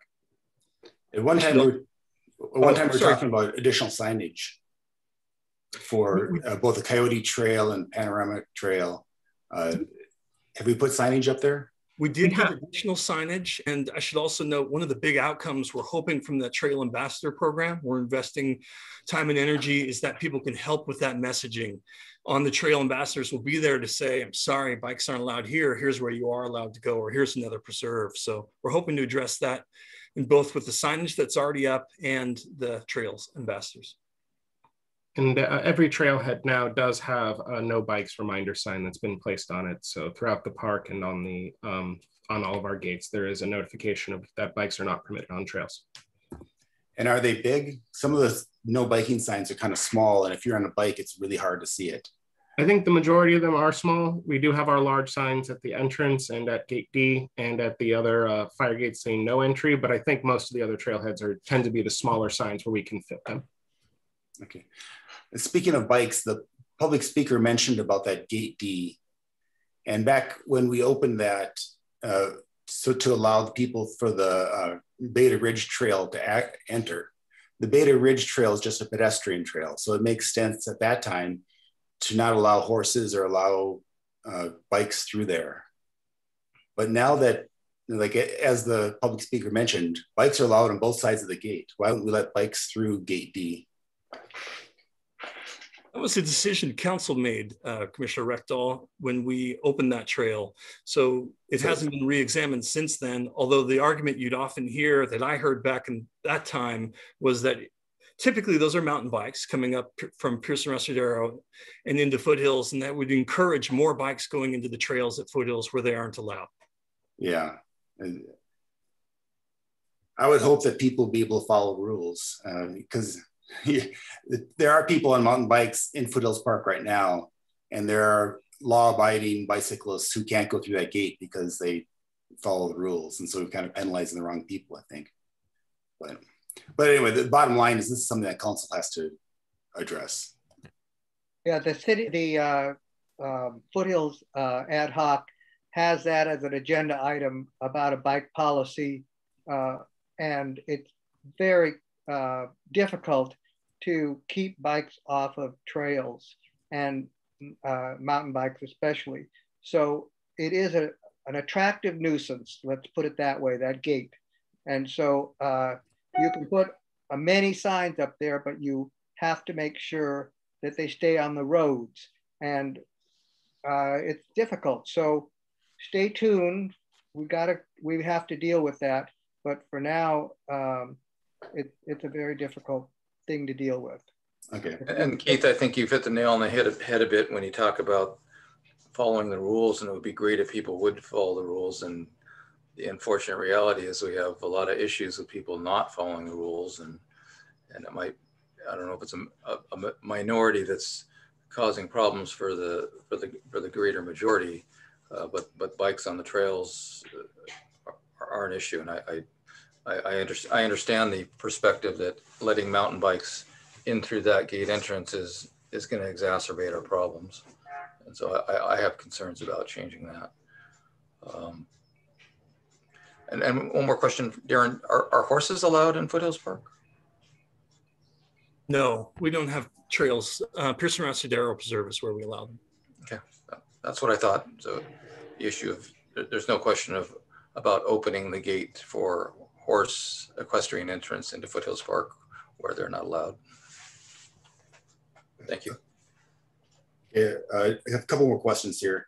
Um, Catherine, uh, have we had any reports about smoking? Because you know, a lot of people go to parks and they smoke, and Foothills Preserve appears to be a park, and I'm worried that they're going to use their park behavior and smoke there. In the first four months, I've had no record of a smoking contact between any of the four rangers that we have on. Oh, wow. great. That's great. It is very good. Um, and a couple questions about flora and fauna. Uh, so Alex, you talked about invasive species. Uh, how invasive are the invasive species? Um, that's a difficult question to, to answer. I mean, it all depends on the species, like, um, but the reason why we target them, the ones that we are like yellow star thistle, Italian thistle, Dittrichia, and also Medusa head, is that they're easily spread through uh, both humans on trails as well as bikes. And then when they get in, they like they get into kind of disturbed areas and then they actively seed and are fire hazards and take up resources from other other plants. So that's why we are keeping an eye on them so that we can remove them because when they're small and you know initial populations are much easier to control.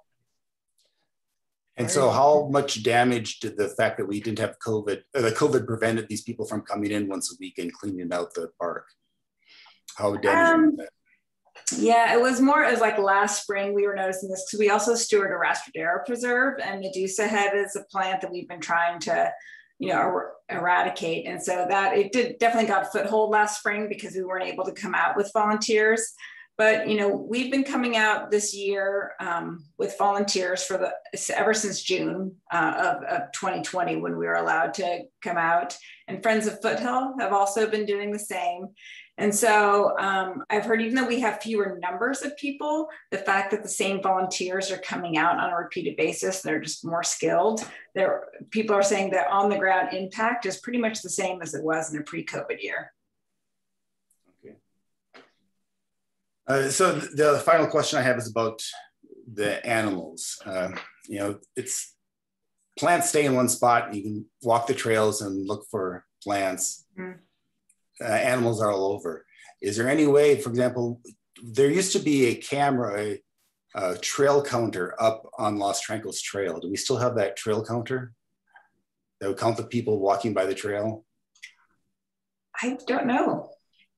I've seen it uh, fairly recently. Okay. Would something like that or some type of wildlife camera well, would yeah, interestingly, we did, um, the Rangers helped us install a wildlife camera at our nursery, which is in the 7.7 acre part of the site. And we started um, tracking that, and we've seen foxes, we've seen a bobcat, and we even got a photo of a mountain lion right outside of the fence looking in. So yeah, there's they're still around, um, but That's we know that we don't have any scientific uh, monitoring for animals like you know the traps and things like that. But at least what we're seeing on the um, wildlife cameras is pretty amazing. That's great. is there any way to to like once a week go in and walk through it and try and do a quick count? If you reviewed it and played it at 20 times speed and try and record what you saw and trying to use that as a trending tool to, to see how wildlife is being affected yeah, we we've been um, we've worked with some universities like San Jose State at Arastradero helped us do this. Actually, it's quite time consuming. And so right now the scope and our budget doesn't allow our staff time to do that. But we've worked with um, students and volunteers to do some of that. And so um, that's also been an idea that we've been having with, um, we have another partnership with Stanford students coming up this fall. So that's one idea um, and uh, there's also some crowdsourcing techniques that I know people are, are looking into. But right now it's anecdotal. We, I mean, we do go through it and it's a way on the wildlife camera that you can see, you know, when it captures something, you can see those images. Yeah, I would love, you know, Stanford has a very good AI department.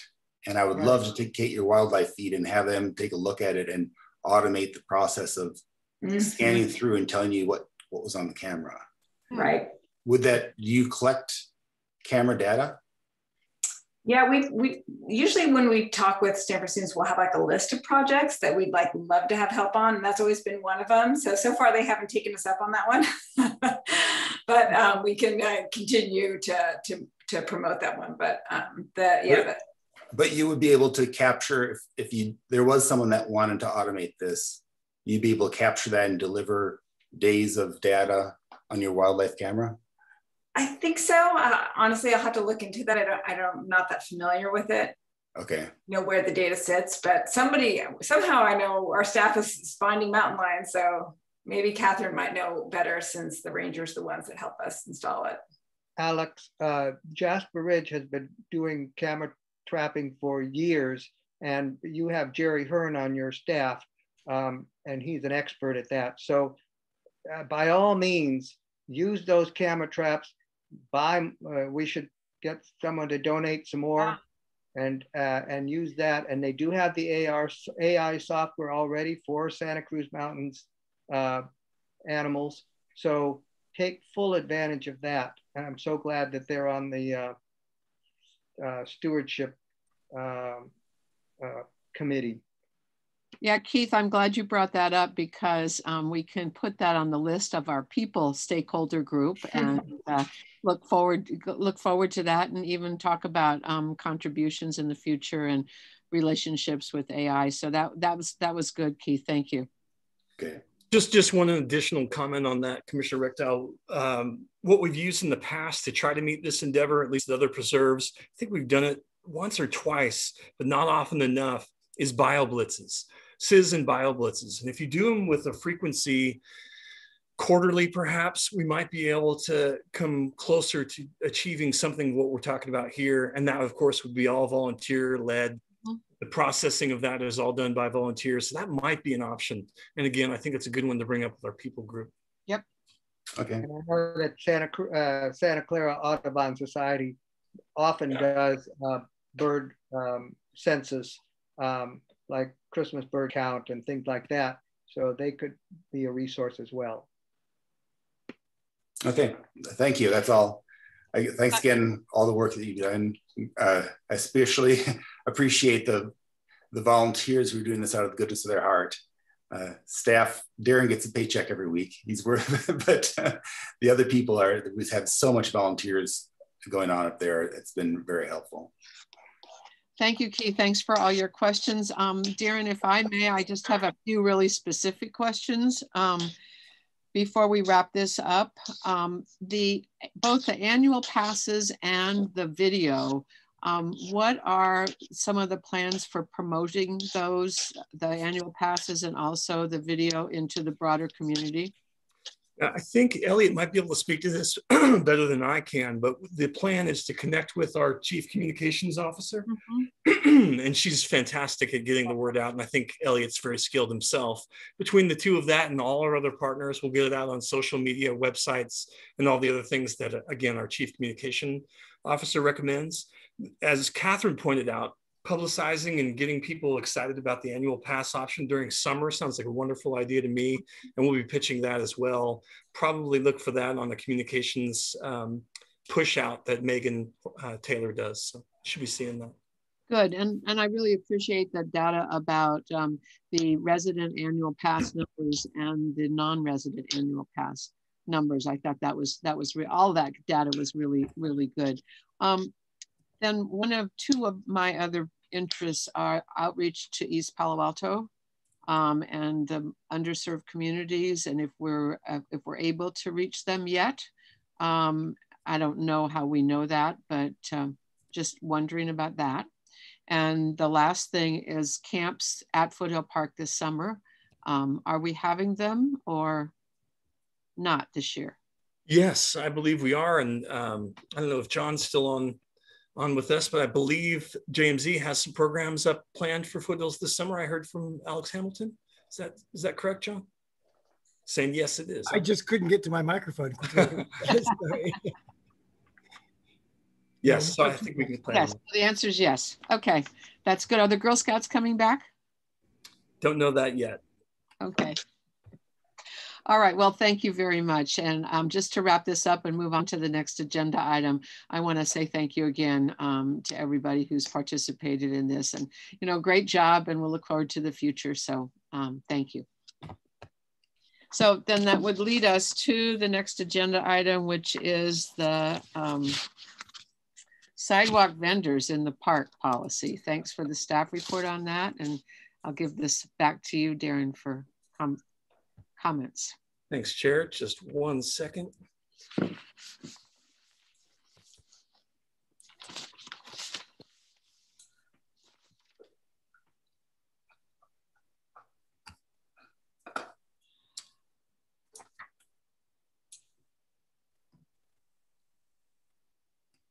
Okay.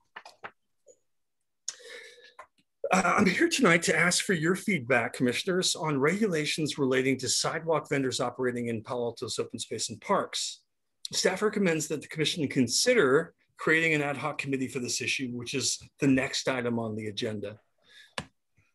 Uh, in 2018, the state of California approved SB 946, which requires cities and counties to permit sidewalk vendors to operate within their jurisdictions.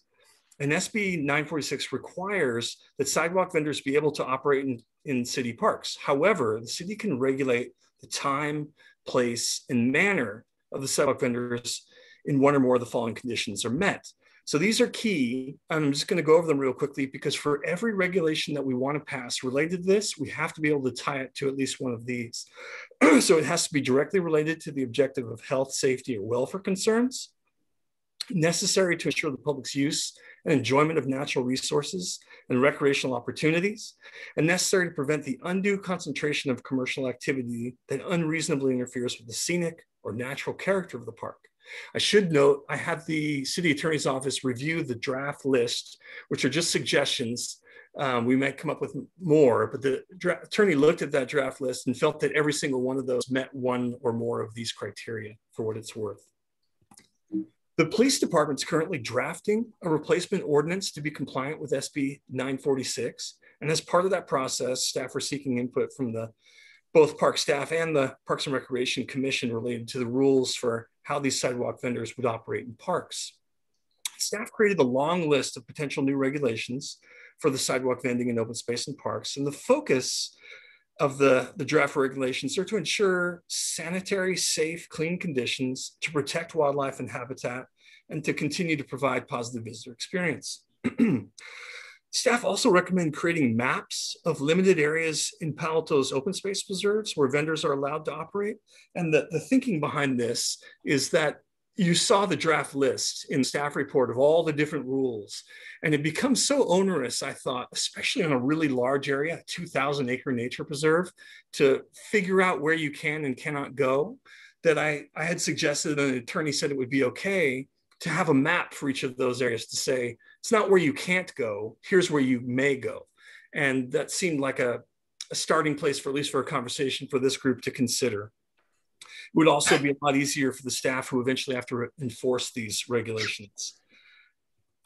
What we were trying to achieve with these draft regulations was to ensure that vendors could safely operate without blocking trails, parking spaces, damaging landscape vegetation, disrupting recreation for park visitors or harming wildlife uh, in the ecology or impacting views, damaging park infrastructure, um, or encouraging food in places where it might be problematic. Food stains on playgrounds, for example, or encouraging pests that pursue food waste.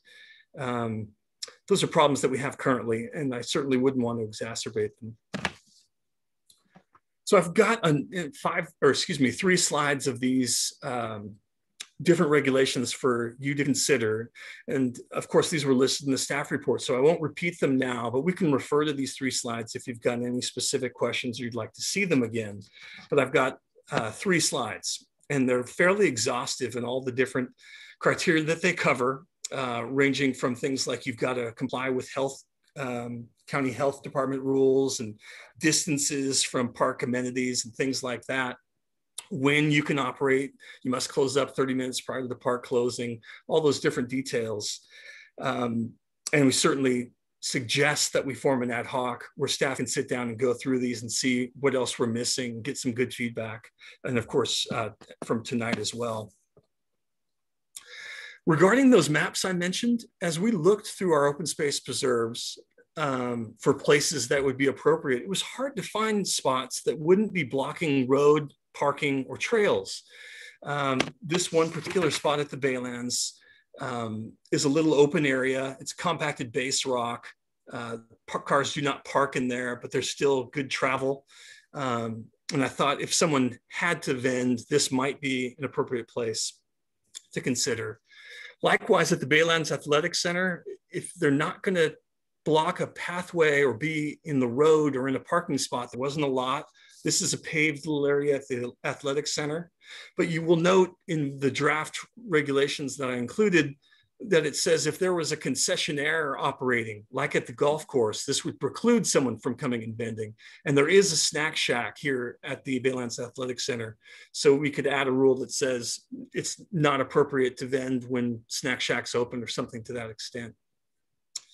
Uh, but that was our, our efforts to put together maps. We'd obviously have to create more. I did ask the attorney's office if they thought we could preclude a particular place altogether, and he didn't think that was likely.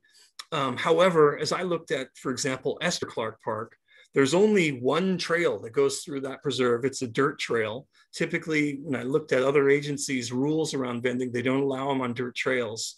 Then there would literally be no other spot within that preserve for them to operate. And perhaps it could just be one of the adjacent street side parking if they wanted to be there. There's also a little bit of thinking about would anyone ever want to vend at a place like Esther Clark Park where you just have sporadic visitation? Um, probably unlikely, but it doesn't stop us from having to go through this exercise and defining the rules around where vending could be. And um, lastly, the, the next steps in our process. Um, June or July 2021, to have the PRC provide a recommendation on a regulation for the vendors. And then in August or September 2021, it's the anticipated date that council discussion and potential adoption of a new ordinance would take place. When I asked the attorney's office which way they thought these would go in terms of regulations specific to parks and open space, would it be wrapped into an ordinance or would they be standalone regulations? Uh, it wasn't quite determined yet. So I think we'll get more direction on that soon. My hunch is they'll probably be standalone regulations, but we shall see. And Chair, that wraps up uh, staff presentation. Okay, um, shall we see if there are any speakers um, from the audience who would like to speak on this topic? Lam? Chair, at present, there are no uh, requests for uh, public speaking. Great, thank you so much. Um, I appreciate that. And then um, questions from the commission. Um, let's just start with uh, Commissioner uh, Brown. And um, do we know if we've gotten complaints about um, sidewalk vendors um, or what the major complaints have been um, in the past? Yes, uh, we have gotten complaints. The one I hear most frequently is at the Magical Bridge Playground. Um, it makes sense because we have 25,000 visitors a month to that playground, more than any other spot in our, our park system. And so obviously there's a lot of customers there. And the problems are it causes a lot of waste and mess on the, the playground equipment.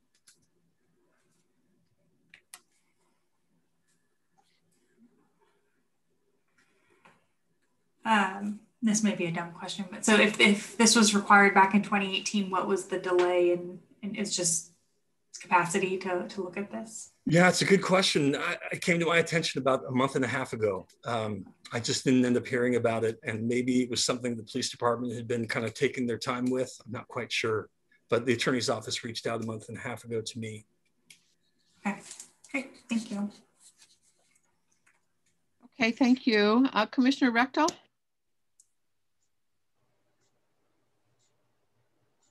Sorry, muted. Um, yeah, I'm torn about this because in some situations, sidewalk vendors can actually add the ambiance and, and make it more of a community uh, feel in a park.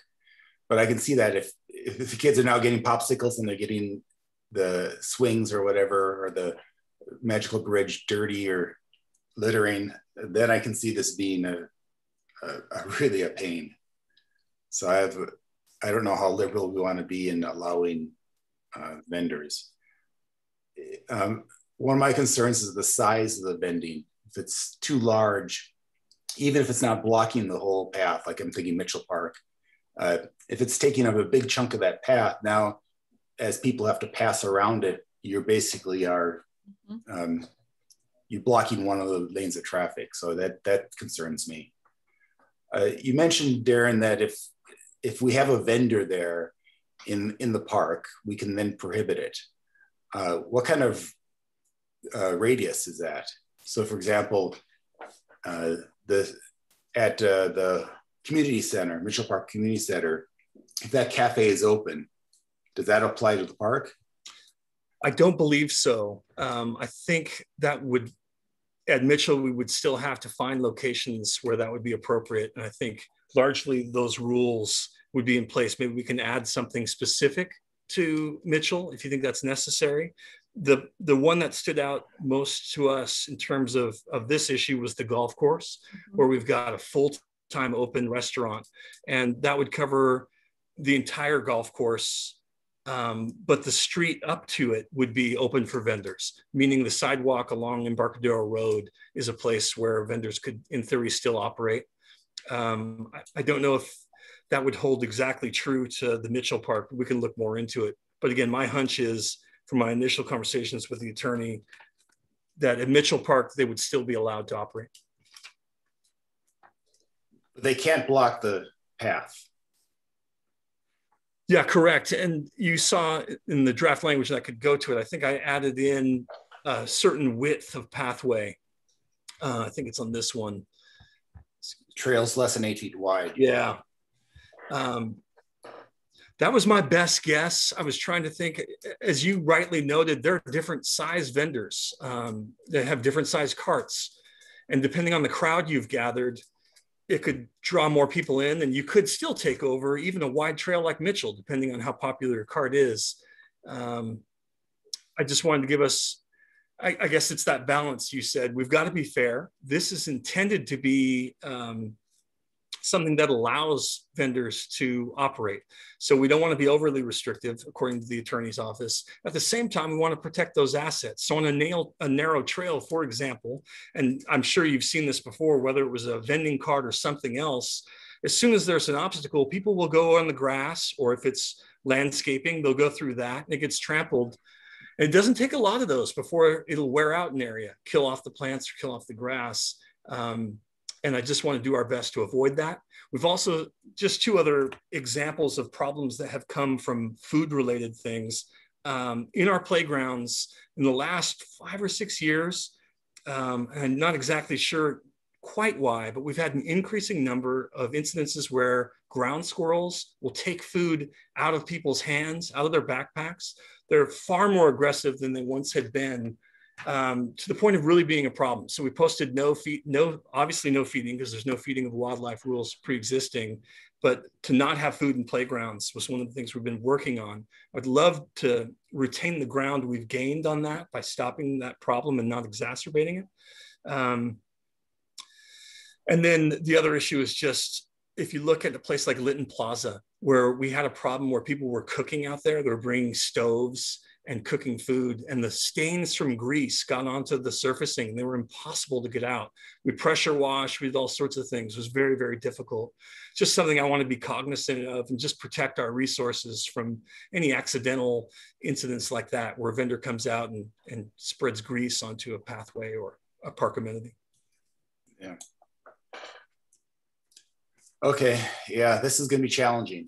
Yeah it is. There are lots of lots of examples lots of things what to do. Um, are you finished with questions yeah Keith? i'm done. Okay thank you. Um, commissioner moss? Yeah i i'm really really sorry about this regulation. Um, i i'm not ambiguous uh, like uh, commissioner reckdahl um, i think that there should be a monumental cost put on every uh, piece of food that is sold by a vendor to pay for trash cleanup and uh, environmental mitigation. Uh, I, I dread the open space preserves because you get an ice cream vendor right near the front gate uh, selling ice cream, but you know that that ice cream and the paper that, that surrounds it is going to be on the trails um, way into the park. And you get somebody going to Boronda Lake and you're going to get a lot of trash in the, in the water. There is a cost to that that city council is going to have to pay for to keep that clean and to uh, not have it spoil the environment. Uh, and of course, the ground squirrel issue is going to be even worse in the open spaces. So putting a two or three dollar uh, per ice cream cone uh, surcharge uh, on each purchase, um, I don't think that there's going to be very many vendors who are going to want to eat that cost. So um, we have to consider the cost. the environmental cost and the, the cleanup uh, that's going to be necessary to deal with these vendors, much as we'd like them to be around. Thank you. Thank you. Commissioner Olson? Um, just a few questions. Is there any sort of permit or permit fee that we're contemplating yet, Daren?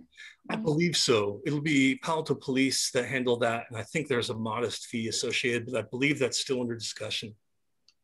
Okay. And then this would not include something like a food truck, right? Because it's just limited to sidewalks. I believe that's correct. This is distinct from food trucks. Okay.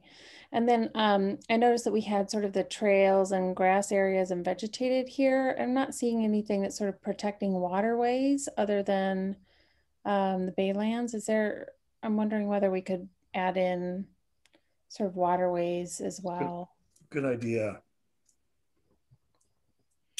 Um, and as somebody that lives right next to Esther Clark Park and walks through it every day, it would be pretty funny to see a sidewalk vendor there. So, you know, I think just the uh, the commercial potential will probably drive some of this. You know, where we have the higher density parks and whatnot is probably more likely where we'll see it. And those are the areas I think we're going to see a lot of the trash and waste that we need to really think about um, whether we have designated areas with extra trash cans around there. And yeah, it's going to be a challenge. So, and I vote for Commissioner Moss to be on the commission on the ad hoc for that.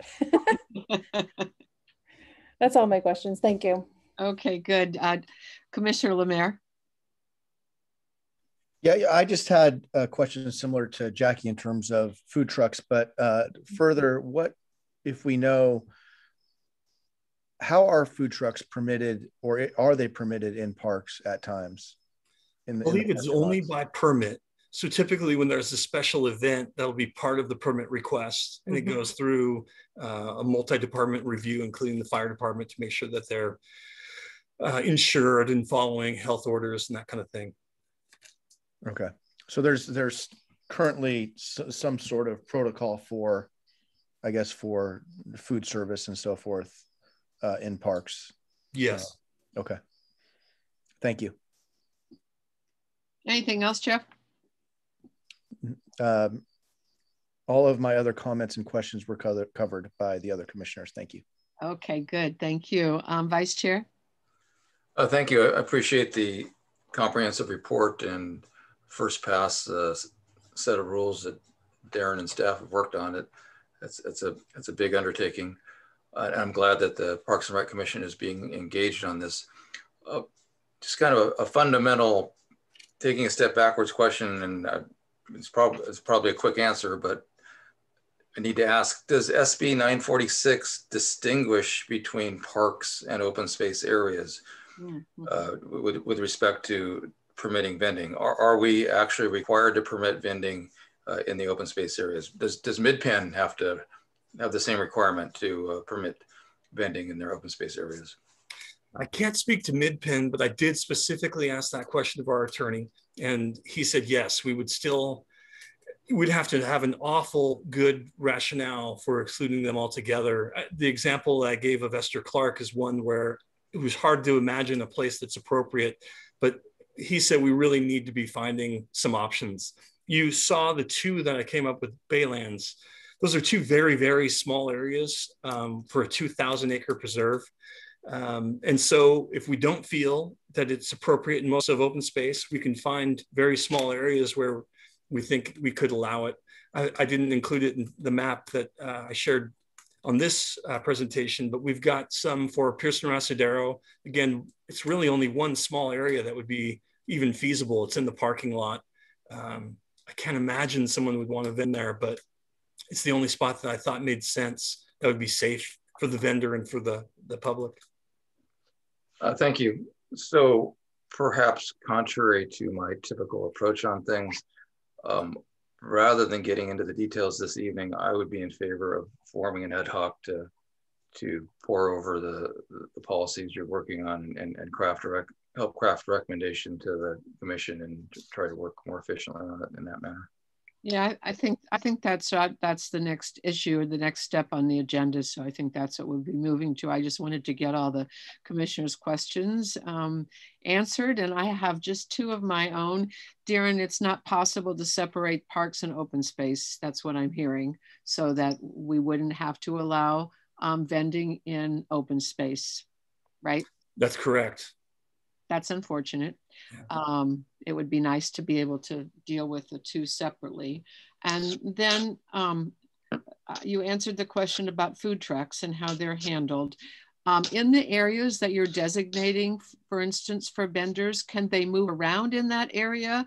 Um, is, uh, is it like a push cart that I can take my ice cream cart and go from one place to another, like eh, what's happening now at, very often at Mitchell Park, or do they have to stay in a specific place that we designate? Yeah, that's a great question. Even as I was putting this map together, I was thinking, well, it's not like they're going to drop by helicopter down to this spot, right? They're mm-hmm. potentially parking outside the preserve and pushing the cart all the way in. So I assume they're all along the edge of the road, stopping as customers come. It'd be very difficult to enforce. I think this is one of those situations where we do the best we can with providing simple guidance that makes mm-hmm. sense. Um, even even in light of the challenge of actually enforcing this i think it's really valuable to have something simple that we can say to someone say we're at the baylands and the ranger is selling at the duck pond where we don't want them to be because it's taking up parking or causing a problem. Having some simple map for the ranger to hand to this person to say here's where you can go. Unfortunately you can't vent here i think would be valuable. Okay well i, I think those are my only questions because the rest of the commissioners brought up all of the other good good questions as well. So let's move on to, we don't need any. I, I, I have one follow up. Okay. David brought up the point of taxes. Could we put a surcharge? I assume regular sales tax applies here, but would we have the ability to put a surcharge on that? I'd be glad to check with the attorney. My, my hunch is not. Mm -hmm. I mm-hmm. think I think if, for example, there's a heavy concern about trash, you'll probably have noted that I had an item that says they've got to provide their own trash and they've got to take it out. Mm-hmm. And we can make that more robust if that's what we're really trying to achieve. But I don't believe that we would be able to add that. But again, I'm, I'm glad to check with the attorney's office. Okay, thank you. Yeah, that would be good. That would on, a, on a, that same topic, because there would be a food service establishment, they would be subject to the disposable food serviceware ordinance in the city, correct? Yes. Yeah, an added challenge um, was the three sort system. So this is another issue is yeah. they should be providing all three services, meaning trash, recycling, and composting. And I'm trying, I tried to envision how this would work. And one of my staff said, well, they could just have three different colored bags that they carry with them, um, one for each of those, just like we have to provide at parks for our trash and recycling enclosures. So something like that. It's an added challenge for them, but um, one that's probably the more responsible as we want to take care of our preserves and parks it's an opportunity to be more forward thinking and trend setting. Yeah, um, the regulation says that the cities can tell you when, where, and how often. Um, and I'm thinking that you could provide for special events like um, mo movie night and, and music in the park in Mitchell Park and not have to provide it every minute of every day in every park. And I would like the city um, uh, attorney to, uh, to explain that in more detail. Uh, I, and I also, and, and, use that to keep them out of, say, the open spaces, except yeah. maybe on a special, special event like Monday morning from 8 to 10. what I really meant is like 10 a.m. on a Saturday, but yeah. for, for two hours something like that, and uh, and try to limit. I want to know how many, how much limit we can have on all three of those things that I mentioned. Um, that's really, really important. Okay, well, those are all good comments again, and I think it can move us into the seeking uh, members for an ad hoc on the uh, sidewalk vendor policy. So do I hear any people who would like to uh, join that ad hoc? Good, that's excellent. Anybody else? Thank you, David. Okay. Was that I Commissioner? said I, I, I would like to join. Great. I, And and I'll join, I'm I'll join as well. My computer um, split out and I, I just heard a noise, but I didn't hear it was. So that's great, Mandy. Thank you very much. And Keith, was that you? It was Jeff. It was Jeff. Okay, good. So there's the ad hoc, Daren. Um, do we need to have a motion to do that? So- Sorry, un- un- unless somebody else is interested in the seat. I'm just interested in filling that ad hoc, so I think it's great. And uh, we could have a motion then from somebody. I move that we create an ad hoc with Commissioners Greenfield, Brown, and Moss. Thank you. And a second? I'll second. Thank you. And Catherine, would you take a vote, please? Yes. Commissioner Brown? Yes. Commissioner Cribbs? Yes. Commissioner Greenfield? Yes. Commissioner LaMere? Yes. Commissioner Moss? Yes. Commissioner Olson? Yes. Commissioner Reckdahl? Yes. Seven to approve the ad hoc. That's great. Well, I'd like to thank all the commissioners who volunteered to be on this ad hoc. Uh, I suspect it will be um, a very interesting uh, series of meetings and recommendations. So thank you for doing that. Okay, let's move on now to the Baylands Nature Preserve Interpretive Sign Project and um, John Aiken. And I know we've been looking forward to hearing about this. So um, Daren, I'll turn it over to you to introduce John. Thank you, Chair, and a big thanks to John for waiting so patiently um, towards the end of this long meeting. Really appreciate you having having you here and, and sharing the information on this project. I know we're excited about it. John Aiken's the director of the Junior Museum and Zoo, um, an outstanding uh, colleague. Thanks so much for being here, John. We can't hear you.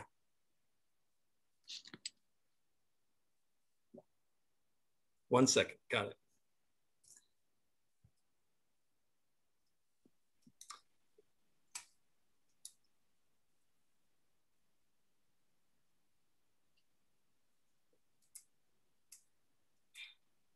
Catherine, is there anything you can do to help John unmute?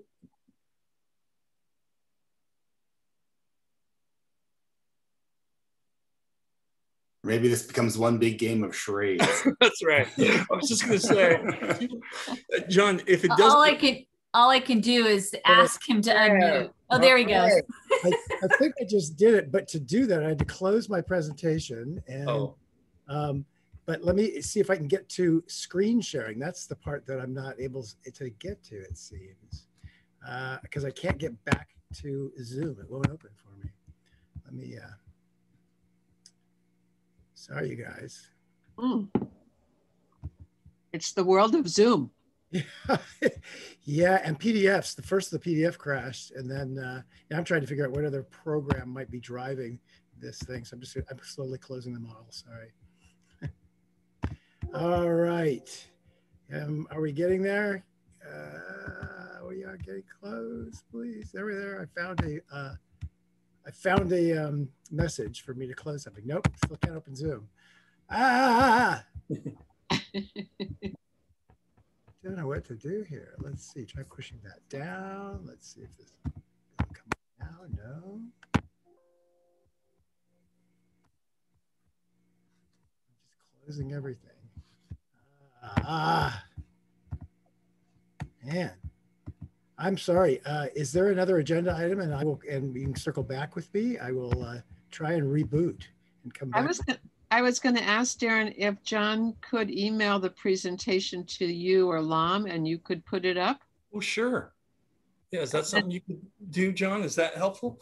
The other one is, to your point, if you want to log off Zoom, sometimes that tends to cure things and, and try rejoining might be a, a way. Great. Uh, I'm going to copy both of you. Wow. Yeah, things are really going slow on my computer. Some's not happy.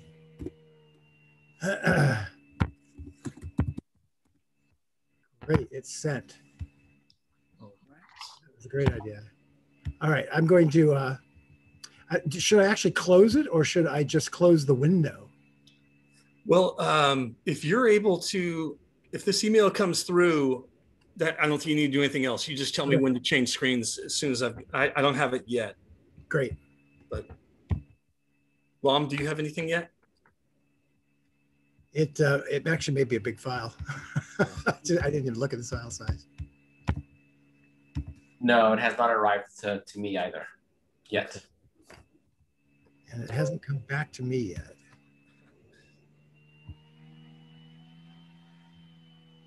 So Daren, maybe we leave John to shut down his computer and then come back again, which usually seems to help. And we can move on just to the short item about the letter to the council regarding the junior museum fees. Would that be okay with everybody? Is that okay, John? Yes, I'll be right back. Oh, thanks so much. Okay, great.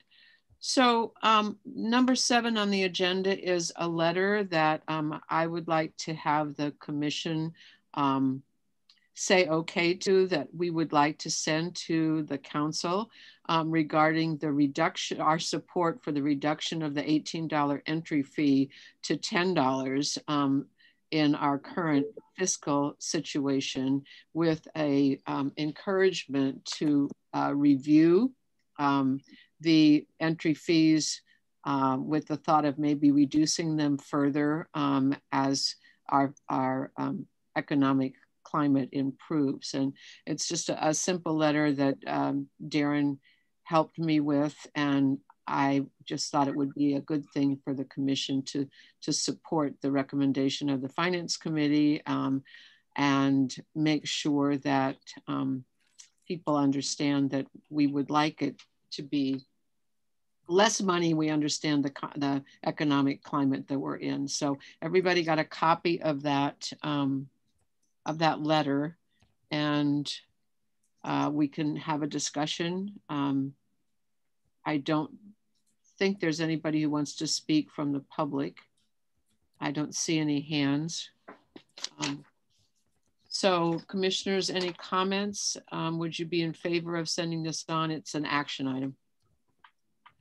I, would like to just start by uh, observing that what we're recommending is is consistent with what the finance committee has, has already recommended. And, and so this is a, I, view this as a pretty simple statement uh, recommending, uh, su supporting the, the direction that a, a, a, council committee is already moving in. I think it's appropriate and reasonable given the, the public outcry about this, uh, the, uh, the, the, amount, amount of uh, focus and attention this issue's got, gotten for us to make a, a, simple statement. And I think this is just a, a, simple statement and that's the intention of it. I would recommend that in the first sentence, we add an S after park to uh, correct our, the proper name of our commission. So it says,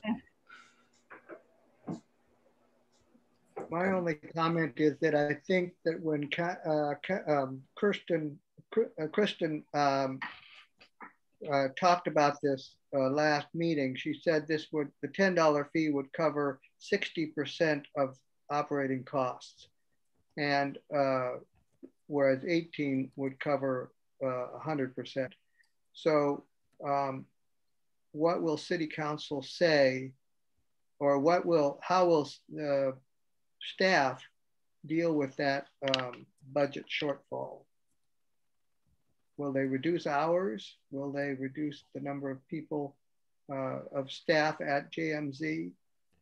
So I, I, think that calculus was based on the assumption that the same number of people would attend or there would be the same number of paid entries to the JMZ regardless of the price point. And I think there's a important consideration that if the price point is at $18, then we'll have quite a few uh, fewer people uh, visiting the facility, and, and it's possible, and we, and we don't really know exactly what the uh, the, the, the cost trade-off is between reducing from 18 to 10 dollars per, per person.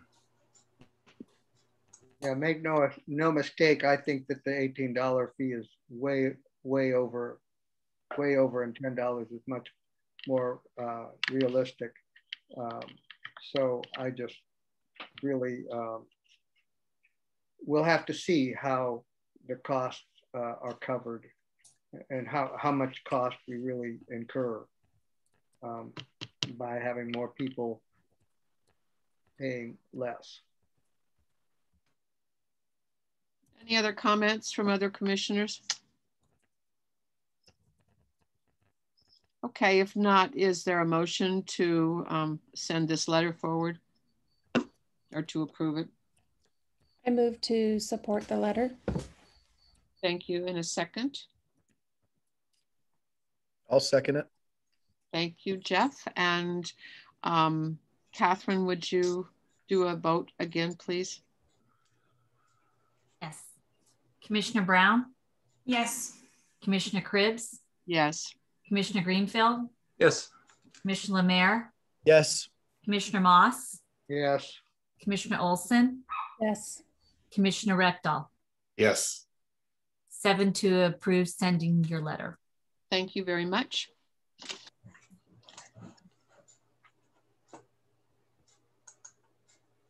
How are we doing, John? Let's give it a try. Shall I try Right. there? um, let's go. Here we go. All right. Can everybody see it? Yes.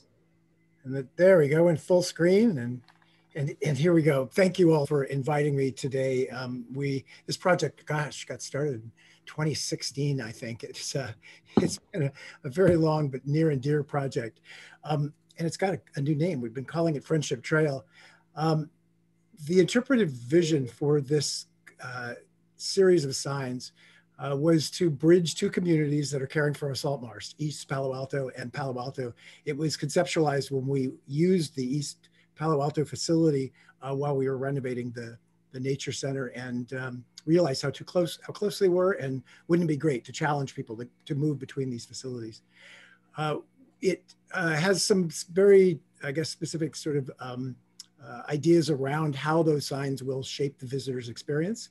One, it'll have focused content. Uh, it will focus on things that you can see, smell, um, or feel at the site. Um, You'll also learn about people protecting and preserving the marsh as examples. Um, and the labels are in Spanish and English. It connects facilities in East Palo Alto and Palo Alto. So for instance, you can start at the Cooley Landing Education Center in East Palo Alto, come to the Lucy Evans Nature Center, go all the way down to the sailing station uh, launch, um, and then end up at the Environmental Volunteers Eco Center which is, by the way, got the most beautiful photographs in this presentation. uh, here's an example of an interpretive sign on the deck of the Lucy Evans Nature Center. That program uh, provided an opportunity for us to create a master plan for this. And so the idea is that all of these are going to have this similar sort of look and feel and language. They're, they do vary a little bit because trail signs are a little bit bigger than the ones on the boardwalk there are limited interactive exhibits, um, limited both because they're expensive um, and limited because there are places where we know they will get trashed very, very quickly. And so we're trying to put them in safe places and places where we can manage them. And we're building them to be bulletproof, really strong. The budget uh, is, I'm gonna move, you guys are blocking my roll up numbers, are $233,000 um, in, and that is for the revenue that had come in from grants, uh, both local grants and a state grant. I've, I've got to thank the Friends of the Palo Alto Parks and the environmental volunteers for all of their support in, in, in particular. Um, the, uh, and it matches our expense. Um, uh, we pulled the design out of the grant request for the state parks to increase our, our opportunity to receive the $162,000, which is for fabrication and installation here are our partners. Uh, pretty much all of the people that are all working hard to try and protect the, the Baylands. Um, and uh, it's been great working with these folks. Um, we've uh, been working with San Francisquito Creek Joint Powers Authority for a while now, and we are collaborating on their exhibits on Friendship Bridge and making sure that these systems uh, uh, collaborate, that the public has a, visitor experience that's, that's seamless. Uh, the last time we met uh, was in June 2017, and since then, uh, the Planning and Architectural Review Board has approved uh, the project. So we've got a, a building permit or a, a, planning permit to put them in. We received input from public uh, stakeholders and partners um, and came up with the idea of a working title for this trail system called Friendship Trail because it goes across Friendship Bridge and it's about bridging these two communities. Uh, we obtained grant funds for the soft costs um, and uh, actually engineering costs and developed the design and surveyed uh, for the deed restrictions that are required by the state. Just very quickly, the state of California requires that we put a deed restriction on land that we own so that that land is uh, stays in the purpose that these signs have intended uh, for 30 years. And what that means is the park will remain a park the open space will remain an open space, that it doesn't really change the use. We aren't going to sell it and, and, and make money and, and that sort of stuff. And so that's why they, re, they require it to protect their capital investment. Uh, the original ideas for interpretive messages uh, was, well, gosh, kind of a Burma shave long line of, of signs all the way along uh, the bay. Um, but I think everybody was sort of appalled that that, that many signs uh, seemed kind of crazy. And so we've found ways of sort of clustering them into interpretive nodes that have anywhere between one and four signs at each node. And they um, then have an opportunity to sort of talk about the neighborhood, um, which we do a fair amount, particularly in East Palo Alto, because in meeting with these Palo Alto residents and, um, and the city managers, they, uh, they, there's a great source of pride in the history of these, these neighborhoods. And so they, they thought that uh, uh, the, the residents would really enjoy it if we could uh, focus uh, some of our interpretive messages there. And then the interpretive nodes on the boardwalk. Uh, the boardwalk was built uh, for these five interpretive nodes. Uh, there are special railings that hold the signs and we're gonna cluster some of the interpretive elements, interactive elements in, in those locations as well we've got a, a off-the-shelf standard for attaching signs on the trails. Um, I, I, just explained the one for the boardwalk, which we built into the boardwalk. Here, these um, are similar to the standards that are holding up uh, the signs in uh, Rinconada Park. And Daren could probably tell me where other parks they're they're in, but they're they're off the shelf. But we some of them are going to have uh, just a concrete footing, and other ones may have pads.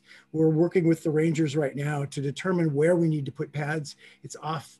Uh, it's more expensive to do that, um, and as much as we thought it was going to improve accessibility for people in wheelchairs, it actually doesn't in many cases. After years, the ground squirrels get under these pads and undermine the surface around them and you and really restrict access to the tops of pads. Elevations of soils change.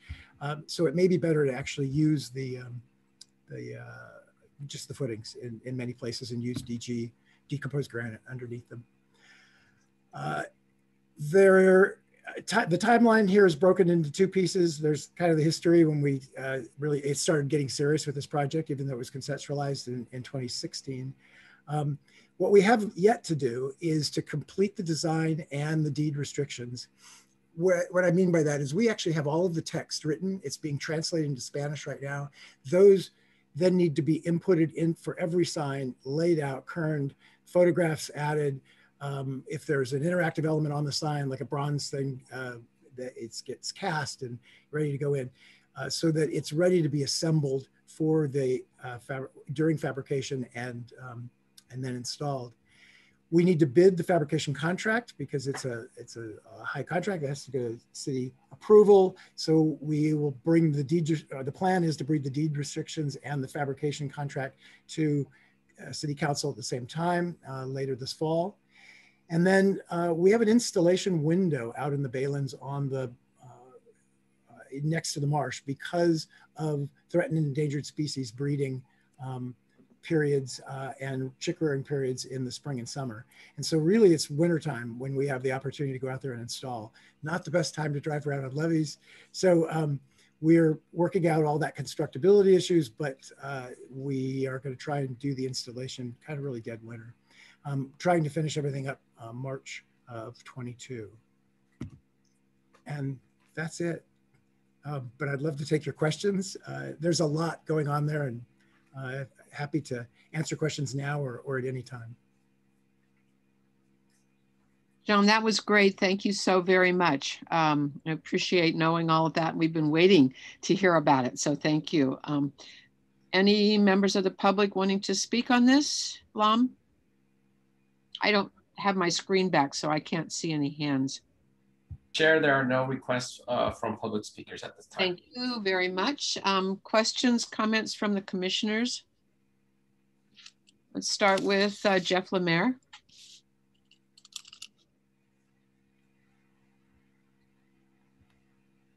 Uh, John, thank you so much for this presentation and all the work that you've put into this. Uh, I, I, will say I do miss former Chair McDougall, who would always have uh, wonderful questions about uh, signage. Um, with this, uh, with this project, I, I do appreciate us uh, reaching across and, and having things in, in two languages and a partnership uh, with different people and, and different uh, with our neighbors. And so thank you so much for all of your, your time with this and appreciate the presentation.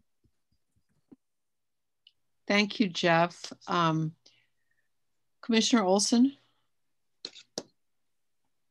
Um, I also want to give thanks, John. This was a great presentation. Um, I really like that it the signage is being based off of the Lucy Evans Interpretive Center signage because it's just such engaging content on such a small area of, of space. And, uh, you know, I know it'll be great. I like the clusters as well, as opposed to like the continuous sign. So I'm looking forward to, um, you know, seeing how this uh, manifests itself. And it's been a very long project for you. So thank you for your dedication on it. Thank you, Jackie. Commissioner Moss.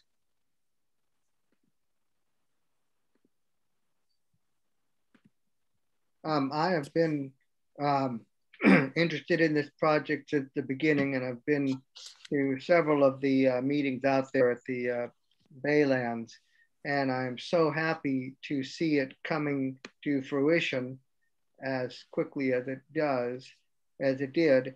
And when we were talking, we did have many, many, many stations. Uh, and to see it now clustered into uh, a, man, a more manageable uh, set of nodes is uh, very encouraging. It reduces the cost and um, and the uh, clutter. I don't know. Um, so I think that that was a, a, a big um, improvement. Uh, and uh, I also know that uh, the, si the signage, the, the messages that we have to present are really important. And so uh, I'm so excited to see this uh, coming, uh, coming to fruition. Thank you. Thank you, David. Um, Commissioner Reckdahl. Yeah, good work, John. Uh, I'm also excited about this. Uh, you mentioned that you were worried about the them getting worn out or vandalized. Can you talk about you talking making it bulletproof? Yeah, talk about that some more. Yeah, absolutely. Um, I'm not muted, am I? Good. uh, there are techniques and manufacturers that make things as strong as they can be, and so the the signs on are on the Lucy Evans deck uh, Nature Center deck are a good example. They're made by a company that uh, makes freeway signs, um, and they are uh, about the the strongest, least fade resist or most fade resistant um, and cleanable surfaces that are out there. That said, um, if I don't know if you've been out to East Palo Alto and seen the what's left of, of some interpretive signs that have been put up by the U.S. Fish and Wildlife Service, um, they uh, have been tagged and, and kind of beaten into the ground. And so we're, we're going to try to continue our work with East Palo Alto to try and get community members to help maintain those signs so that there's a voice in the community about, hey, protect these, these, these are us too. Um, and so uh, we've also limited uh, you know, things that could be broken more easily, like interactive exhibits, um, to, to areas where they can be sequestered and protected. Uh, we're also going to need to have a program to clean them on a regular basis. I don't think it's realistic have for the rangers to be able to do that all the time. Um, and uh, we've uh, got volunteers, uh, EPA's, East Palo Alto's got volunteers. Um, and so having a, a group that comes together to do this, I think will really help foster that ownership of them as well. I think that's a really good idea. I am concerned about them getting tagged. And so if they get tagged, you'll be able to just wash off that paint or what, what's the process for detagging it? Yeah, there's it's kind of washing is the first step. And then there are chemicals that doesn't harm the surface of the sign, but will take the paint off. Okay. Good. Uh, another thing is, uh, are there gonna be benches nearby? Because I can envision grandparents taking the grandchildren out and the grandchildren want to go and, and read every word on the plaque and the grandfather wants to sit down and, and rest his legs while the kids are busy. There are existing benches out near some of the installation sites. We have been uh, purposely not putting signs in front of benches because when people are sitting, they like to enjoy the view and we don't want to block, yeah. block their view. And so we've put them near benches, but not, um, not too close. We're also being very conscious of accessibility. Many of the levees out there are not currently accessible to all. Um, there, I think everybody is waiting for a levee raising and rebuilding project. When that happens, these signs, uh, because they're existing conditions, will be pulled and then reinstalled uh, at, at, at uh, you know on top of the levee. And I think it's it's that time is when we can make these all fully fully accessible. Um, it's it's been a challenge. We're definitely putting them in areas that are accessible, but there are some areas because of grades and because of substrates substrates over a vast area that it's not practical um, to make those fully accessible. And do you know the content or do you just have a rough idea of what the content's going to be? We have we know the content in in detail. Uh, Alex Hamilton, especially, has been you know sort of going over and over the language for these things. The James, the educators uh, at, the, at the Gene Museum, have been reviewing it all. It's now being translated, um, and then it has to be laid out. And I don't know if you've ever tried to write exhibit labels. It's actually an art to be able to communicate something relatively complex um, in very few words um, in, in a way that's readable. Uh, so it's, it's it, we've got a good team working on it. Yeah, it's like PowerPoint yeah. cubed. Yes, distill it down. It's very difficult. Uh, that uh, would you be able to share that content with us? It'd be really nice for us to take a peek through it and just see if we have any feedback. Yeah, I think so. It may come to you in several files. Um, because it, we've got it as uh, yeah as as word documents i could uh, yeah we'll, we'll find a form a, a, way to bundle these together it's a fair amount of information because um, they're all organized by nodes and, and location what you're seeing um, and then and then the text um, but sure i'd be happy to oh that'd be wonderful thank you uh, and lastly this is for Daren uh, the path of the friendship friendship trail ends up at Cooley Landing. Uh, there's that one stretch, the last little stretch is uh, not a real trail, it's just kind of a dirt uh, volunteer trail. Uh, there was some thought about getting an, an easement on that. Is there any progress on that? There was an attempt to make progress, as John can tell you, during this during this endeavor for the signage. We reached out again to the property owner, and we had done so twice before, and on all three occasions were denied um, there was just no interest on the property owner's um, behalf to provide access, to provide an easement to do a developed trail. Okay.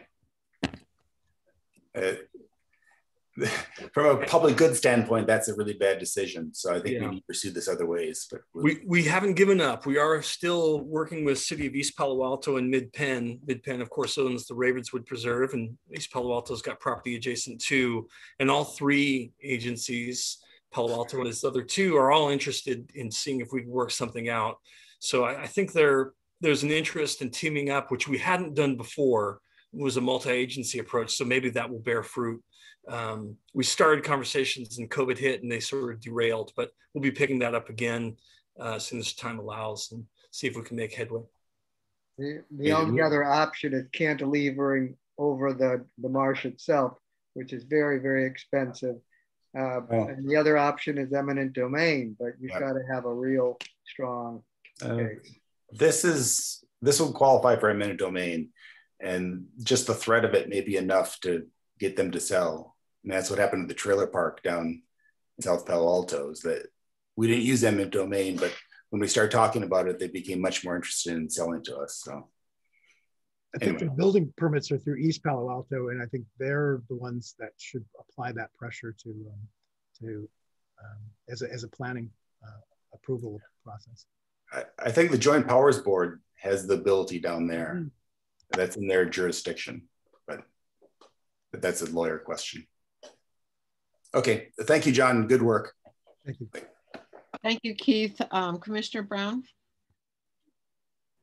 Great presentation. It seems like, although it was a lengthy process, there was a lot of good input that came um, down to the footings of the signs um, throughout that uh, process. And so very excited. My best friend happens to live in East Palo Alto and we're both Spanish speakers. So I'll look forward to enjoying this with her. So thank you again. Yeah, that's great. Uh, Vice Chair?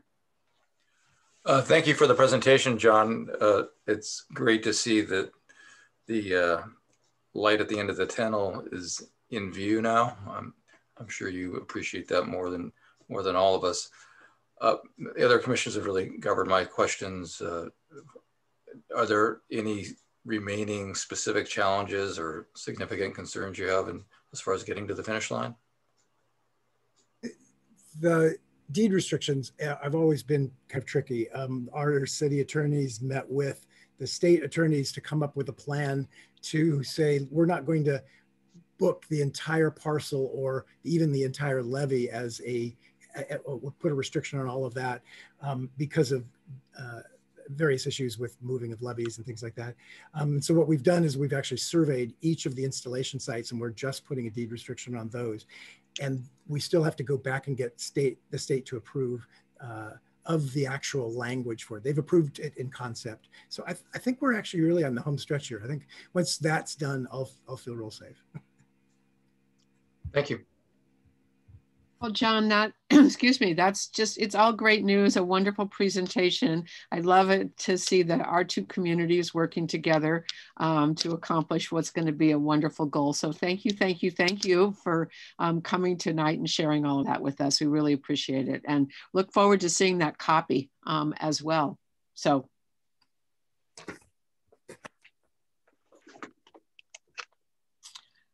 Okay, Daren, let's move on to the uh, tentative agenda for June 22nd. Thanks, Chair. I've got uh, three potential ones. One for sure is the park improvement ordinance for the Tidegate project. We'd very much like to have on the June agenda. Um, if we move quickly enough with the ad hoc on the sidewalk vendor regulations, potentially bring that in June. But I believe the attorney said we could also do July as an mm-hmm. option. So maybe we play that one by year um, to see how much progress we make with the ad hoc and how quickly we're, we're ready to bring that back for an action. And then lastly, depending on um, progress with our next meeting, perhaps a, a beginning skate park conversation. I was going to ask about that if that would be appropriate. Yeah. Okay. So um, what and would we have any um, information about um, the city budget uh, in the staff report? Yeah. Yeah, the department report, we should have, um, it'll just be the day before, yes. a couple days before. So um, it might not be very robust, but yes, I'm sure I could have at least the basics and some of the key impacts to um, park and rec related CSD um, budget. Okay, great. Daren, have you had any feedback from the fire department? I would love yes. to hear something about uh, fire safety up there. Yes. Yeah, I submitted a request just for the benefit of everyone else. Commissioner Reckdahl emailed me saying very interested in having the latest on fire safety for the whole foothills area. I forward that to the Office of Emergency Services and the fire department. They're working right now on an informational report that will go to City Council on June 21st. Mm-hmm. That's not a presentation, but I had asked would they be willing and said, well, let's look into that and we'll see. Um, so I've got both the chief from fire and the chief from OES uh, looking into this and seeing if they might be able to either give us a presentation or whether that would go to council and we could listen in, um, one or the other. But I did express the interest. I'm really concerned that the, have so many people up there. If something happened evacuating the people off the trails, that's just a logistics nightmare. And I think we should put some thought into it now before, before it happens. Okay, keep us in the loop. Thanks, Daren. Good, thank you. And thanks for bringing that up, Keith. I, it was on my list to ask Daren about it. So um, you beat me to it and I'm glad. Um, any other comments or announcements? Uh, back, back on agenda, were we looking for potentially an update from Friends of Palo Alto Parks and the Palo Alto Recreation Foundation? Well, I, I guess we could be. We talked about it, but um, I think maybe we wait for the work plan approvals. We'll be back, Daren, right? Uh, yes. Go to council on the 21st. I think that's what somebody said. So we'll have our meeting after that. Um, in, in some respects, we really can't do very much until we hear from the attorney about fundraising and all of that. So I don't, I don't know. I, I, guess we could we could talk to Roger um, and Jack Morton about uh, potentially having uh, those two groups come just for just for a discussion. I, I guess it'd be at least useful to get them primed to be coming sometime soon. We'll, we'll, we'll sort out the date, but let yeah. them uh, think about what they want to present. Yeah, I, I, I think that's right. Um, so either either June or or maybe July feels a little bit better, but we'll keep it on the list. So. And what about a Boulware update? Is that waiting on the budget or? Uh, I'll have to talk to Peter Jensen on that one. I'll, I'll let you know. And along with that, I guess if if we hear about the budget, then what we hear about Rinconada Park. Yeah. Probably as well. So. Okay, well, good. Any other comments or announcements? I have a couple.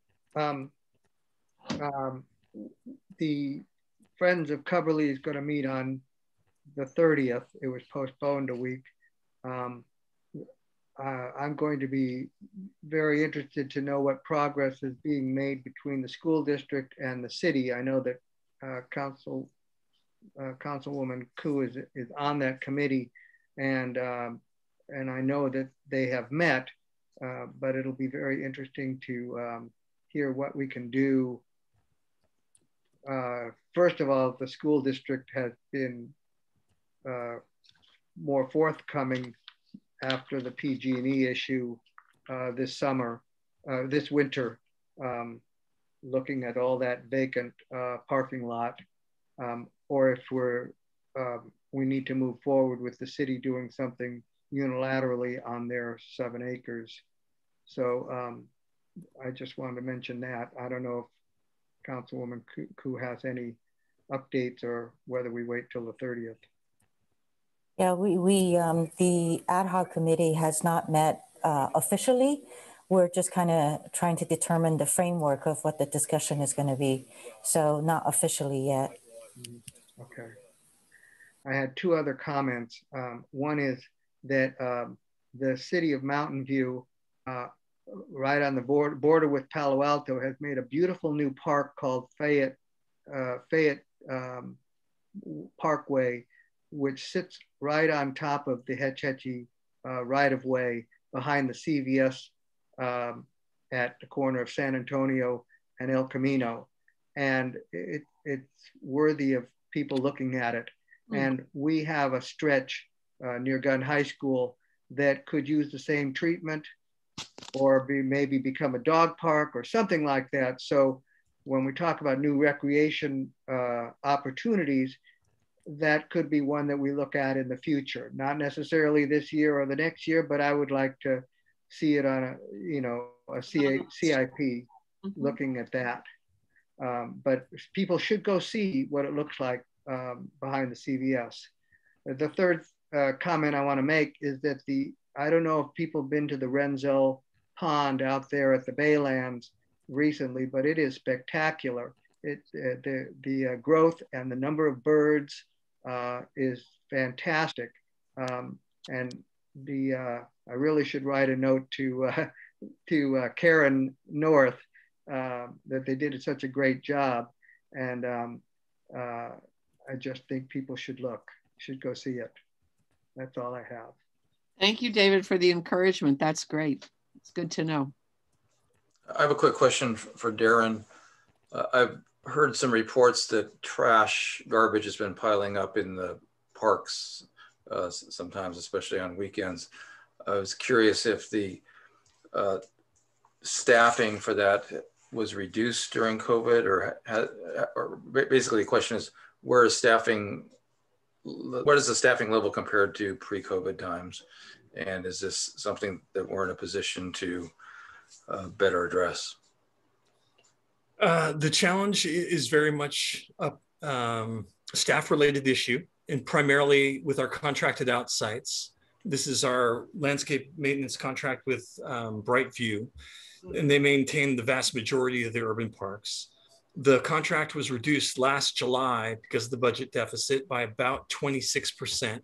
And it has had an impact. I think those are the the the early telltales will be weeds and trash. Mm-hmm. And so as the track, and I guess there's a, a, a third um, impact, and that's the increased number of park visitors since COVID.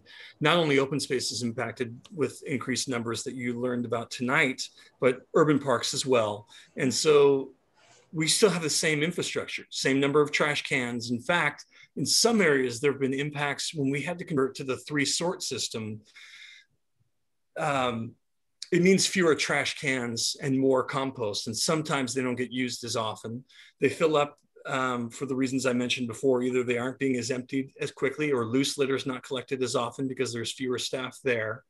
Um, and what we're trying to do is work with Zero Waste, uh, who instituted this three sort rule, pushed it forward and got it approved to help us either with capacity or if there's any ways that they can get additional resources for us. But the reduction in Brightview is definitely one of the impacts that led to this. Well, well thanks for clarifying that. That that seems very important for City Council to understand as they're considering the the budget trade-offs right now. Uh, it is particularly demoralizing when you see trash piled up around the trash cans, where yeah. it's a capacity slash servicing issue, uh, clearly. And uh, uh one question that was raised to me is, is are there any kind of uh, stormwater runoff uh, regulations that uh, we could potentially be in in, in violation of if, if trash is, is piling up and, and some of this is, is getting into our waterways? They have, and they have funding and they have guaranteed funding, uh, stormwater. So could we use some of their resources to keep trash out of the storm storm drains? Could certainly try. They've never come to the table for this kind of thing in the past, but um, we could certainly certainly ask. Yeah, we have a Green Stormwater Initiative liaison. They can push for that. yeah, I, I know someone on the Stormwater Committee too. yes, you do. and, and, my daughter works in, in stormwater for the city of Sunnyvale. So.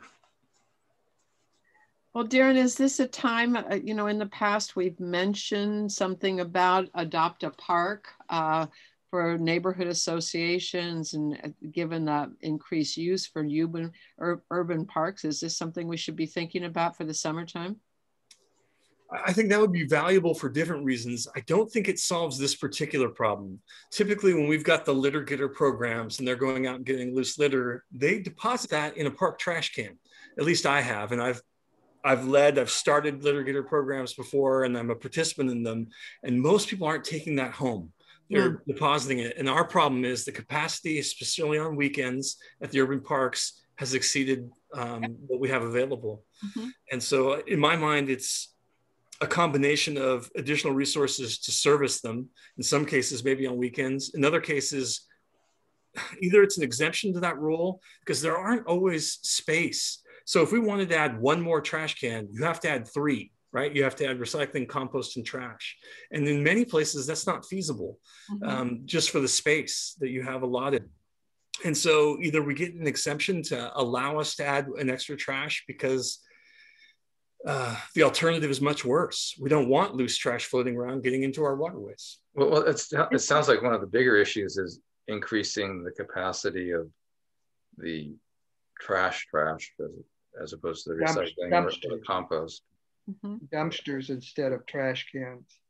Well, the good news, the good news is that when you look at Cubberley Field, for instance, um, having your partners, the soccer uh, clubs and, cl and camps, they uh, insisting that they clean up their trash after they leave has been has been uh, quite successful, at least at Cubberley Field.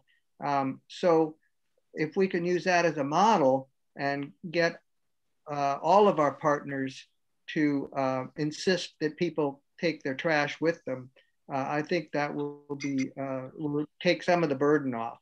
But I think what uh, Jeff is saying is that there are areas that are have nothing to do with sports, but more to do with picnickers. Mm -hmm. So is there a way that you could get an exemption for this just for the summertime and call it a pilot program and get one more can for just the trash trash?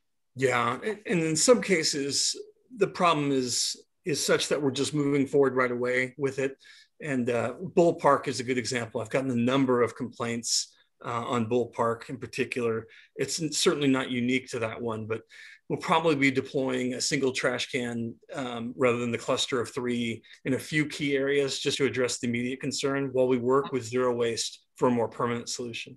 Okay, well, thank you for all that information. Sure. And, and the single can approach, I'll, I'll, I'll, I'll point out, it, it is problematic because if you just have one can, then you're going to get compost and recycling items in there that, that are going to go into the landfill that, that wouldn't otherwise. So I appreciate that. Yeah. Oh, so I, I was thinking it would be an additional that, that you'd, you'd keep the three cans and then bring one additional can just for the trash. That that's what we do. Yeah. Uh, I think Chair's point is still that it'll end up being the recipient of mixed. Um, yep, it will. Yeah. Overflow. Okay. Well, I think that's probably leads us to adjourning tonight. Um, Daren, thank you for um, all of the speakers and lining all of that up. I thought it was a very informative meeting, so thank you. Appreciate it. Uh, so, one thing I want to mention, the council talked Monday about trash and recycling. And if you didn't see that, it's worth going getting the video. I thought the council members asked some very good questions. And a lot of, you know, the, when was about six months ago, a year ago, they talked to us, and I thought that they answered some of the questions better last night. The the staff did, or Monday night. No, that was last night. Wow. Okay. Uh, and uh, you know, the bad news is that a lot of the mixed paper is going overseas, and mm-hmm. you don't really know if it's being recycled or whatever. So it, it's worth watching what the council talked about on Monday night. Good to know. Okay, um, is there a motion to adjourn?